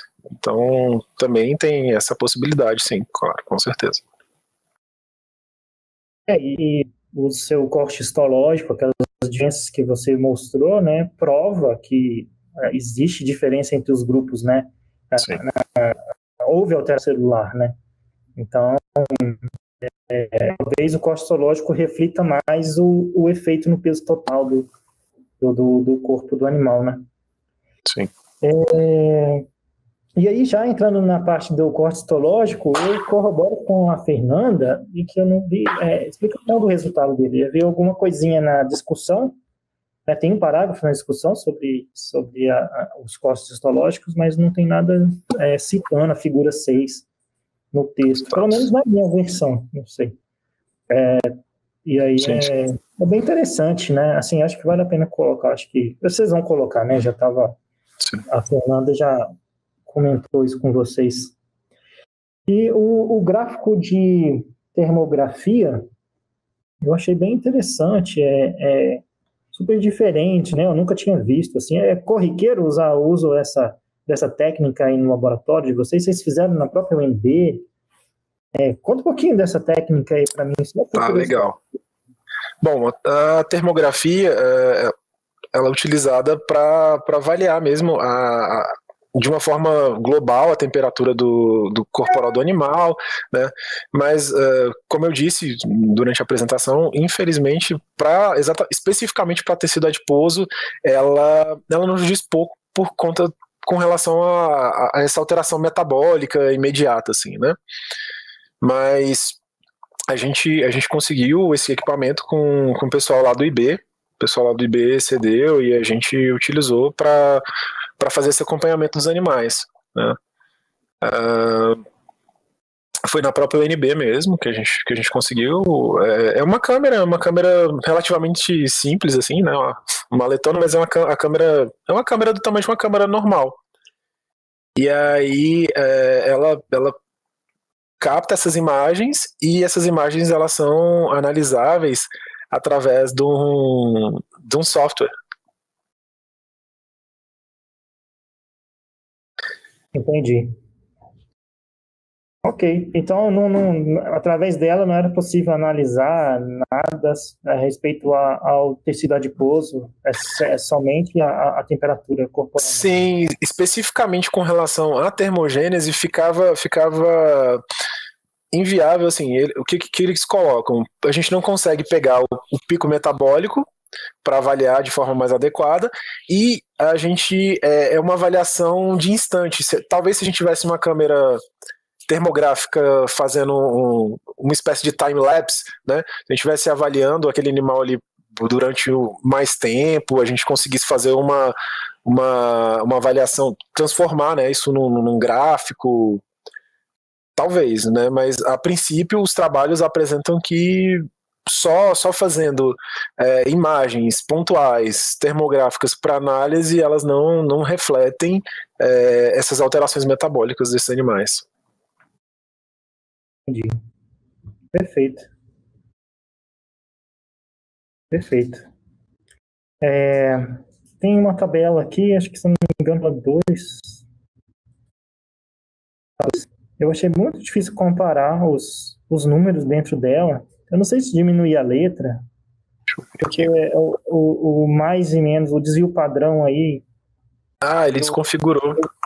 Desconfigurou, foi para baixo, aí eu achei bem difícil foi. comparar. É só questão de, de configuração mesmo. Ela desconfigurou. E em relação às perspectivas futuras, na parte de análise da expressão gênica, o que, que você pretende fazer? Legal. Bom, é diferente. Quando a gente fez a disciplina, não, né, eu estava falando de é, fazer fazer RT-PCR por que era, como eu falo, que era comparação absoluta, né, que era o teste absoluto, né, mas na verdade a gente ia usar comparativo. Depois, com o tempo, a gente entendeu que, que era o, o praxe, enfim, a rotina, né. É, a gente, a gente já fez até as extrações, Gustavo, desse, desse material. Esse material já está todo, já tá todo feito a extração a gente já fez a purificação de parte dele, né? já está no ponto só de fazer a, as RT-PCRs. Então é uma questão de tempo. Né? É uma questão mesmo de, de fazer, e aí a gente vai avaliar a princípio a expressão de UCP1, que é um, um marcador né, mais característico para termogênese, e aí dependendo desses resultados a gente investe em talvez fazer alguns outros marcadores para poder avaliar. Entendi. E existe a intenção de, de aumentar o grupo do frio para equilibrar a, Sim. A, a, as análises? Sim, a, ideia seria que a gente repetisse esse grupo do frio, Sim. tá? Porque por conta um por conta dessa questão, né, que é uma questão estatística, e também para a gente avaliar se a gente conduzindo o, o grupo é, com, com uma, as, as orientações da, das condições que a gente conseguiu observar, dessa questão de temperatura do ambiente, se a gente consegue é, não ter perdas de, desses animais, que é a nossa intenção, né, não, não dá esse, que seria um choque térmico nesses animais, né, que seria é, trabalhar para a gente conseguir de fato estabelecer de uma forma melhor é, o tratamento para esses animais. Então, assim, é, como eu disse, foi, foi a primeira vez, foi um piloto, então a gente precisa desses ajustes. Então seria bem interessante reconduzir esse grupo para a gente poder também fazer a finalizar esse trabalho dessa forma.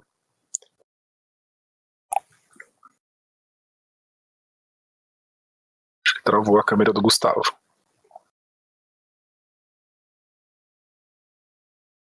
Caiu. Nos ouve, Gustavo? Alô, alô, alô. Alô, Aí. alô, alô. Ô, gente, desculpa. Acho que caiu Imagina. a conexão. Às vezes essas tecnologias é, passam vergonha na gente. Né?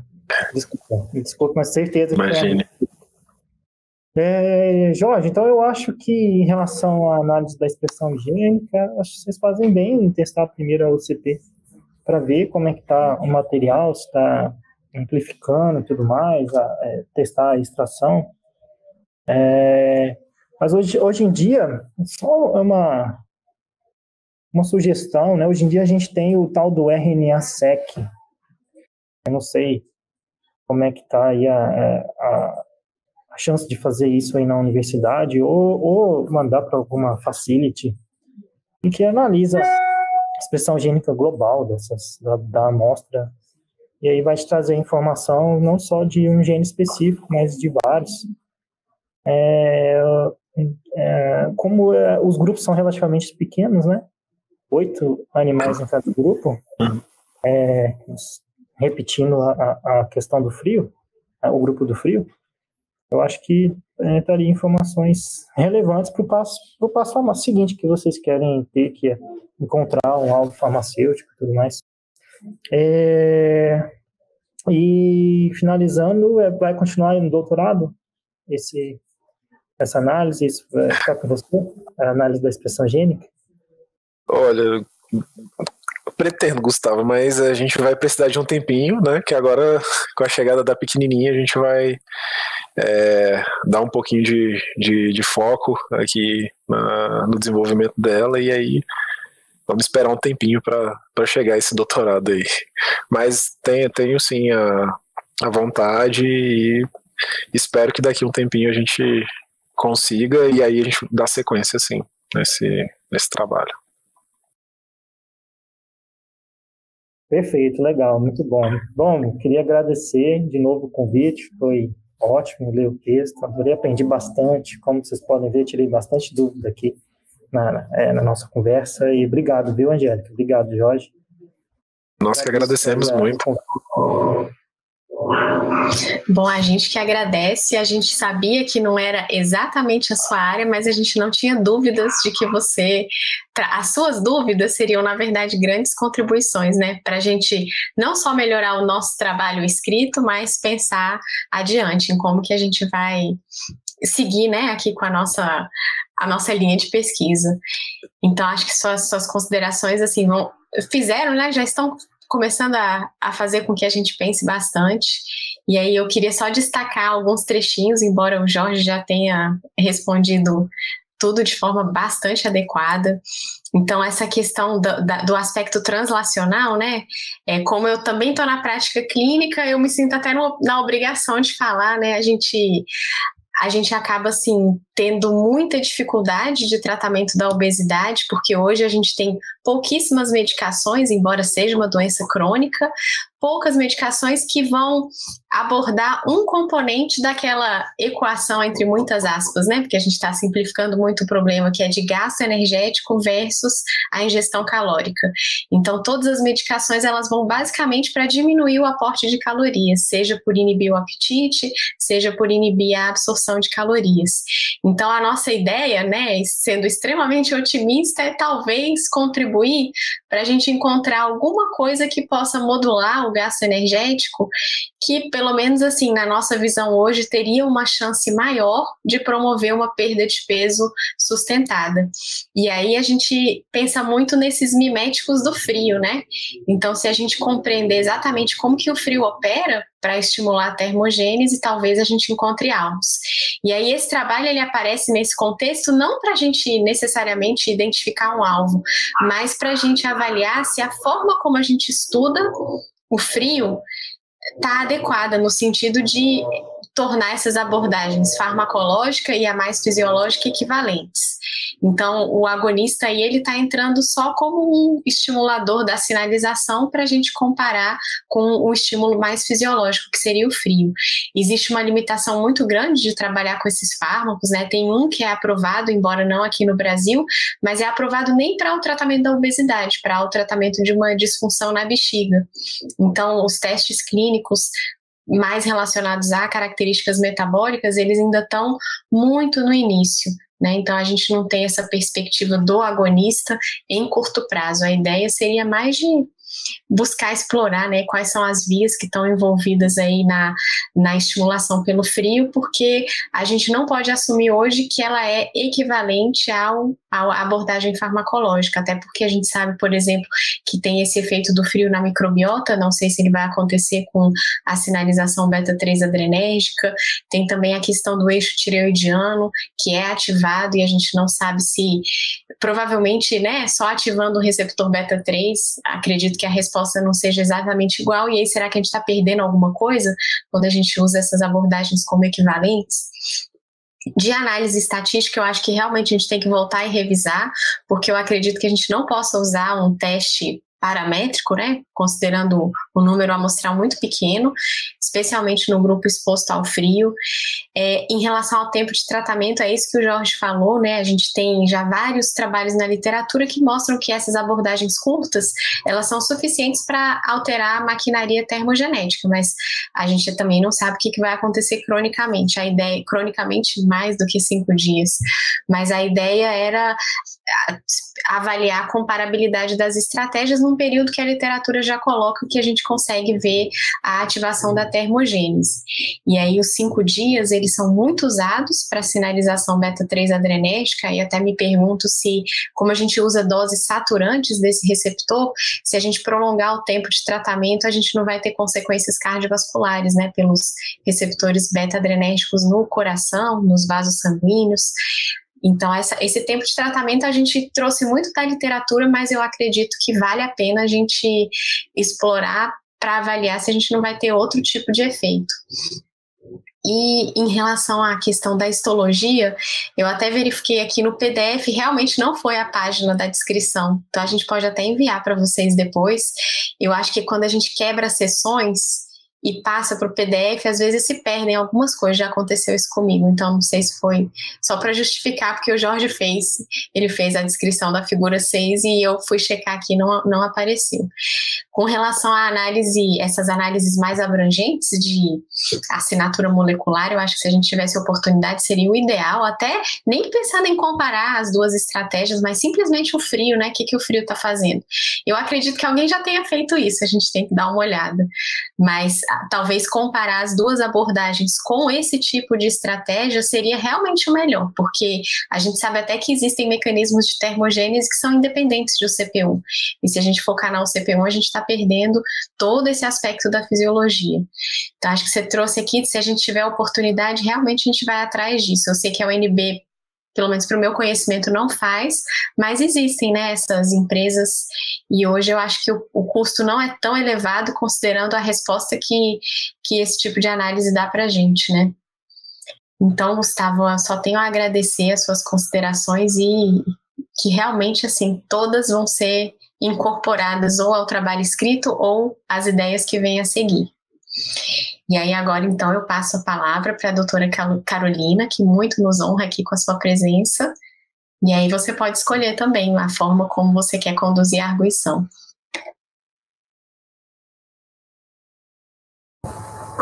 Estão me ouvindo?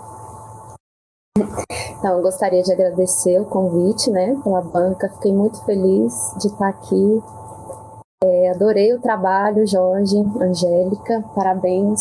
Eu sei o quanto é difícil padronizar uma técnica, é, ainda mais no mestrado, né, que são dois anos só, ainda mais com a pandemia.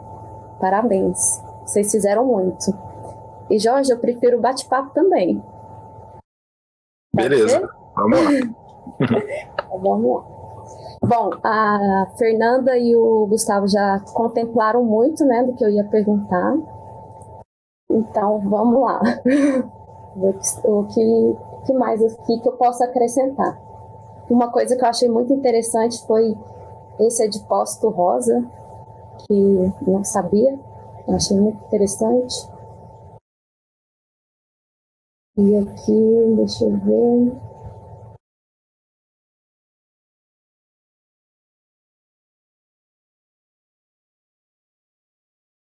Na página 26 do PDF, na segunda linha, quando, quando você explica termogênese com tremor e sem tremor. Aí na segunda linha você fala assim, contudo, é desvantajoso frente a termogênese sem tremores. Por que, que você acha que é desvantajoso?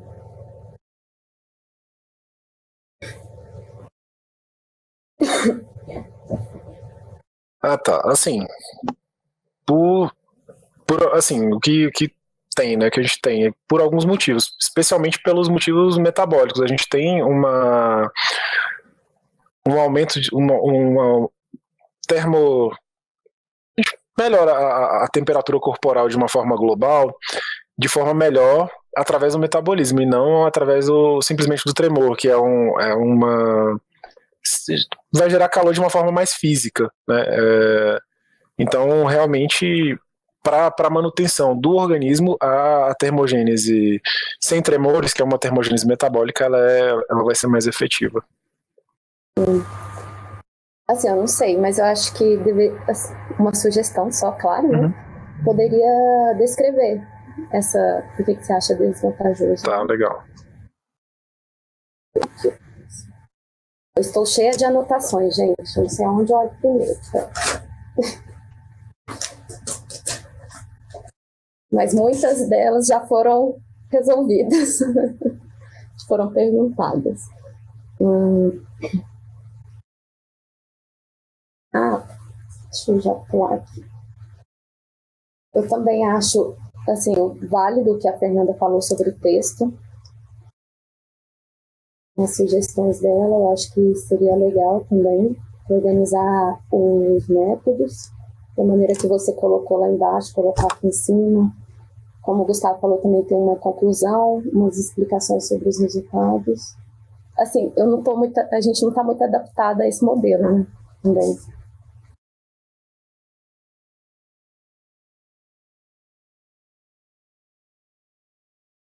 Na página 32, eu acho que pode ter sido 32 do PDF, Jorge eu acho que pode ter sido um erro de tradução. Assim, eu fiquei um pouco sem entender a, a frase.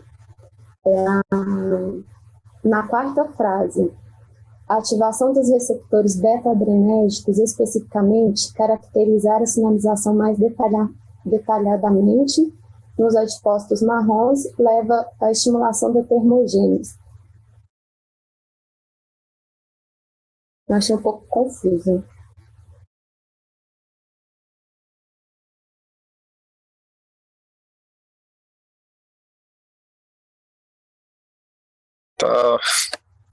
Esquisito, né? Eu acho bom reescrever, né? Reescrever, sim. Parte. Eu fiz outras anotações também, aí eu vou te passar. Obrigado. Indo para os objetivos, né? Quando você coloca os objetivos específicos, é investigar o efeito né, do tratamento agonista beta-adrenérgico, exposição ao frio no camundongo 657, alimentados com a dieta normal ou hiperlipídica. Aí você fala aqui que, de forma comparativa sobre a massa corporal e a ingestão de energia. Eu senti falta do, da ingestão de energia. Sabe por que, que eu senti falta? Porque assim, o que a gente vê, né, escuta muito falar que quando a gente está exposto ao frio, a gente tende a comer mais, né? Aí foi logo que eu fui procurar e cadê o gráfico? Vou produzir esse gráfico. O resultado da ingestão? Oi? Vocês tiveram o resultado? Sim, pode não, falar. a, gente tem, a gente tem o dado, só não, não compilei mesmo. Foi. Mas ficou... tem eu não consegui nem olhar, então. Não, eu não, não, não analisei, de fato. E aí também tem, nesse, nesse pedaço que você leu, tem essa questão do no objetivo específico da dieta norma, né? A gente só trabalhou com a dieta hiper, é, vou tirar a dieta norma, porque na verdade a gente quer trabalhar com a dieta norma, mas ainda não, não foi possível. Isso que eu ia falar, isso daí você explicou. Uhum. E por que vocês escolheram 60% a dieta? É, bom, a gente, o que, a gente vê na literatura é que a maior parte dos trabalhos que fazem esse tipo de, de análise, tanto de exposição ao frio quanto de uso de agonista beta-3 adrenérgico, trabalham com, com, esse, com essa dieta de 60%, que é uma dieta obesogênica, né? Então, assim, vários trabalhos que querem induzir obesidade nos animais trabalham com, com essa dieta. É meio que um, um padrão dos, dos trabalhos, assim, o pessoal utiliza bastante. Então eles usam 60%. Sim. Uhum.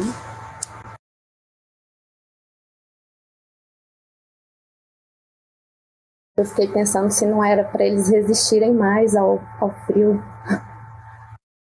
Ia ter um gasto. Não, não. Né? Uhum. Já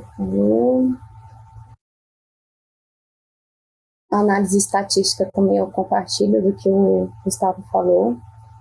Bom viver, né?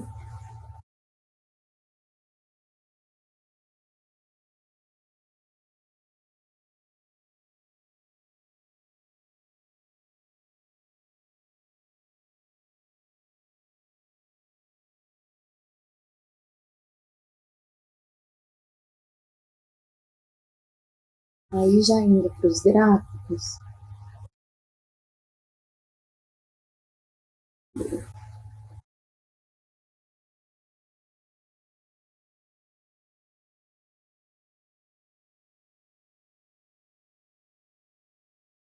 Na figura, na figura 2, no gráfico da, de massa corporal, né? Eu fiquei na dúvida porque em um momento do texto, acho que foi no capítulo 1, do delineamento, você coloca lá que, que as intervenções foram feitas da, é, da 14 ª 15 e vi que tem um resultadozinho aí depois da 15 Eu interpretei de uma maneira errada? tá sem, tá sem... É, pronto. Não, então, o que que acontece? É, vamos lá. É, primeiro, eles foram isolados na 14 semana. Eu tinha até quando, quando eu estava apresentando, eu vi que eu tinha falado errado em algum momento que era na 13 terceira, foi na 14 Eles foram isolados na 14 semana. É, e aí na, dec, na 15 semana eles foram tratados. É por isso que é, no gráfico ele passa da 15, porque eles foram tratados durante cinco dias da 15 semana. Entendi. Uhum. Talvez seria interessante deixar mais claro aqui, então, Jorge, mais didático. Tá. Colocar. Não sei como pode fazer. Talvez, talvez colocando, colocando o gráfico que a, que a Fernanda falou, talvez fique mais claro.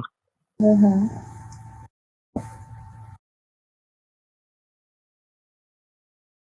Muito legal, tá muito bom. E quando você falou que essa imagem tão linda, maravilhosa aqui da, da termografia, né? Não vai ser utilizada. Ah, cara. Achei ela linda. Teria que ser gaiola metabólica, seria isso? É, seria, gaiola metabólica seria uma, uma forma melhor de, de, de avaliar, seria uma, uma forma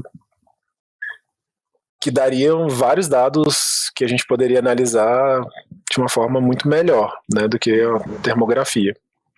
Mas é, a gente não tem nenhum, nenhum assim, o traba os trabalhos que a gente tem sobre termografia para tecido adiposo eles dizem que não funciona bem. Poxa, uma pena. Sim. Gostei muito da histologia também.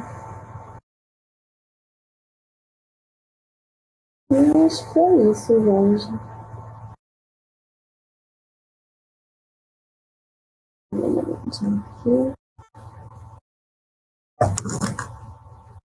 Ah, vocês pensam em utilizar o fígado dos animais? Ah, então. É, o que, que acontece com o fígado? A gente tem esse material, né? É, a gente chegou a fazer histologia dos fígados, mas a histologia não ficou boa. É, quando a gente, os cortes histológicos não ficaram bons.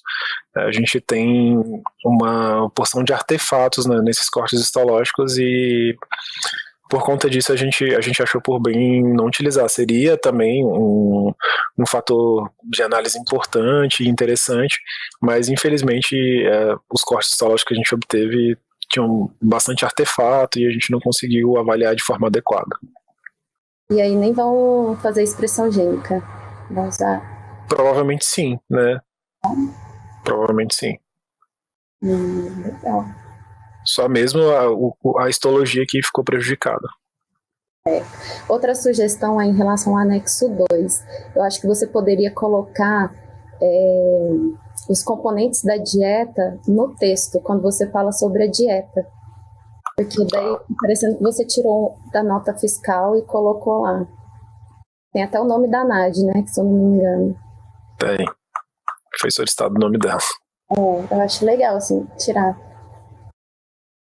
Ok.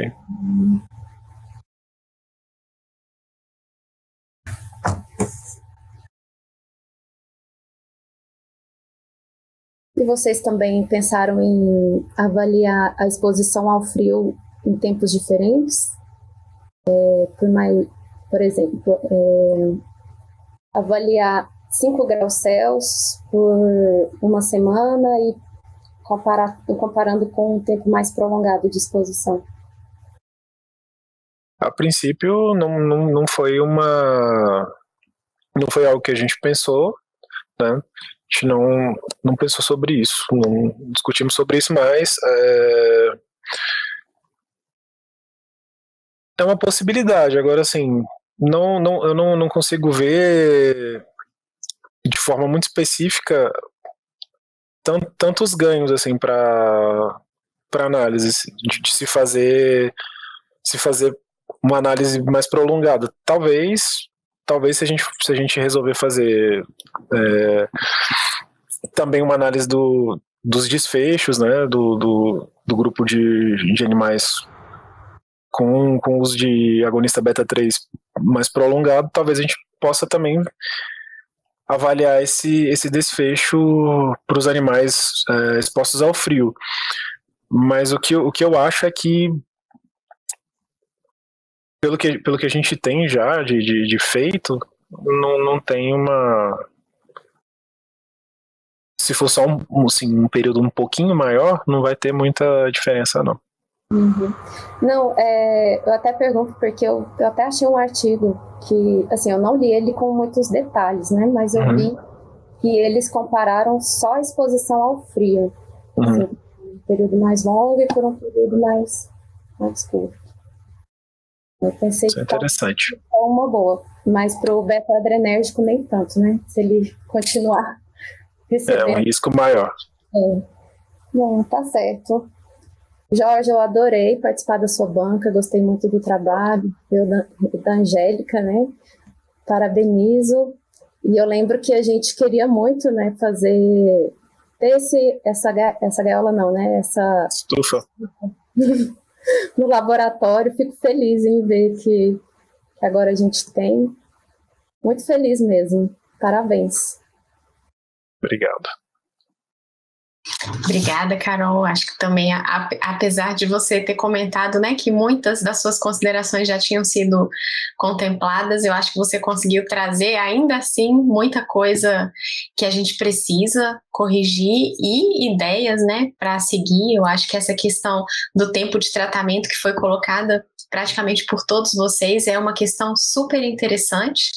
Para essa comparação agora, talvez ela seja uma questão assim que não vá dar tantas respostas como o Jorge colocou, mas eu acho que essa questão assim, por exemplo, simplesmente da resposta ao frio, né, em momentos posteriores, eu acho que é uma coisa que a gente deve pensar em abordar se não tiver sido abordado já exaustivamente na literatura, né? Até porque a gente sabe que a própria questão da modulação da microbiota é uma coisa que vai demorar alguns dias para se refletir, por exemplo, em aumento da absorção dos nutrientes, até mais do que os cinco dias que a gente tem aqui.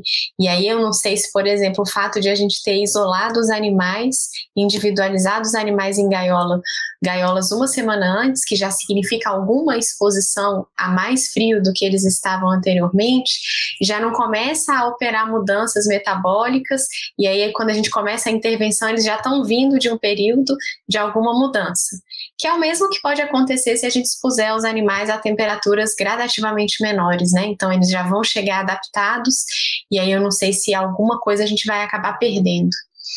Mas é, é, são coisas que a gente precisaria realmente abordar, né? Questão do tempo de tratamento. Bom, então é, mais uma vez eu queria agradecer a todos vocês. Agora a gente vai. Eu não vou arguir o Jorge, né? Obviamente não. Nem vou fazer nenhuma consideração agora para não influenciar a decisão da banca. Então agora eu vou pedir para o Abrantes nos levar né, para outra sala para a gente deliberar aqui.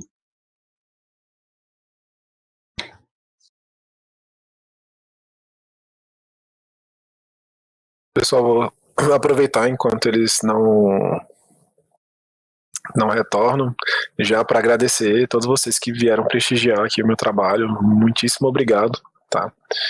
É, eu fico muito feliz com, com a presença de todos vocês aqui e esse trabalho certamente contou um pouquinho com um pouquinho de cada um de vocês que estão aqui assistindo também, tá?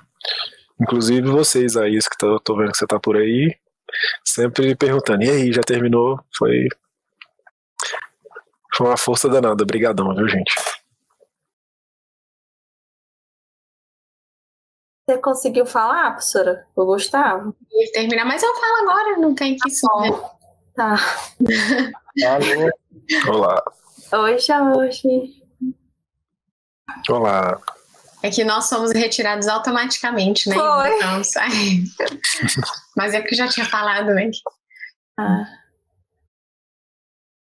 Acho que o Gustavo conseguiu. Ele deve estar tá voltando. Eu consegui ouvir o áudio dele, ele tinha falado. É, eu acho que ele está aqui na sala. Ah, estamos te ouvindo, Gustavo, estamos te ouvindo. deixa eu voltar aqui, pronto. Voltei. Então, Angélica, é só assinar ali. Bom. Só assinar, uhum, no relatório de defesa. Perfeito, perfeito. Bom, então, Jorge, depois desse amplo debate né, que nós tivemos, é, eu queria te dar os parabéns. A sua dissertação foi aprovada, então você é o mais novo mestre pelo programa de pós-graduação em Ciências da Saúde. Então, a Ana Luísa já vai nascer com muito orgulho do pai. O pai e... mestre.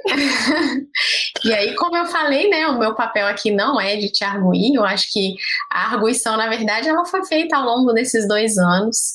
E aí, o que eu, que eu tenho para te dar é os parabéns, dizer que apesar de todas as adversidades que a gente enfrentou, né, a gente tentou fazer um trabalho, a gente não podia mexer com animal, animais geneticamente modificados, precisava usar o biotério de uma outra, uma, um outro setor da UNB e não conseguimos, e aí mudamos de projeto.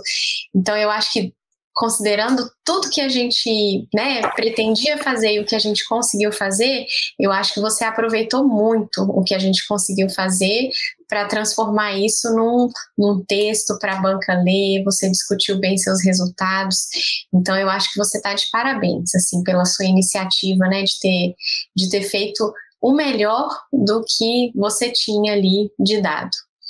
Então, eu, eu espero, eu tenho certeza que você aprendeu muito nesse período. Eu, a gente vê assim a sua segurança de falar em obesidade, de falar nessas alterações metabólicas, de interpretar seu dado. Então, eu acho que o mestrado ele cumpriu bem o seu papel. Sabe, acho que você, conversando com você hoje, eu vejo você uma pessoa diferente daquela que você entrou. E aí, nesse sentido, eu me sinto muito orgulhosa, assim, muito feliz, né, com esse desfecho. Então, é, é o que eu posso te falar agora. Parabéns e espero que você continue, né? Hoje você está inserido num, num ambiente de trabalho que também é um ambiente de pesquisa, então eu acho que você vai ter toda a motivação para continuar. Depois que você der esse período né, de, de intervalo aí, para ser pai, que é uma missão para a vida toda, mas, mas você vai aprendendo a conciliar as coisas. Com certeza. Então agora eu passo a palavra final para você. Gente, é, eu, só, eu só posso agradecer. É, concluir essa etapa, sem sombra de dúvidas, é, a realização de, de um sonho de verdade. Né? Desde que eu concluí a graduação, eu tenho trabalhado por esse momento. Né?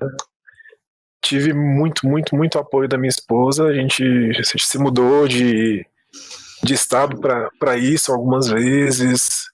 A gente passou por uns perrengues para que isso acontecesse. Então, de verdade, assim, para mim é muito emocionante esse momento. Eu peço até desculpas pela por não conseguir manter a a fala tão tão melhor, né?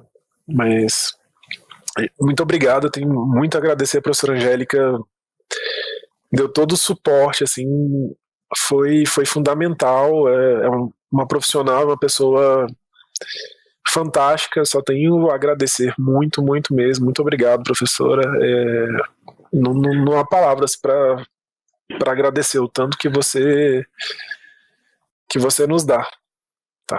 É, e é, agradecer todo mundo que está me prestigiando, a minha família que me apoiou sempre, em todos os momentos. E, claro, eu pretendo mesmo continuar, eu pretendo que, que após a pausa a gente avance, né? E estou muito feliz hoje com, com o meu, meu trabalho, né? É, eu tenho muito orgulho de trabalhar no SEMI, né? É uma empresa que que é, é certamente vanguarda científica aí.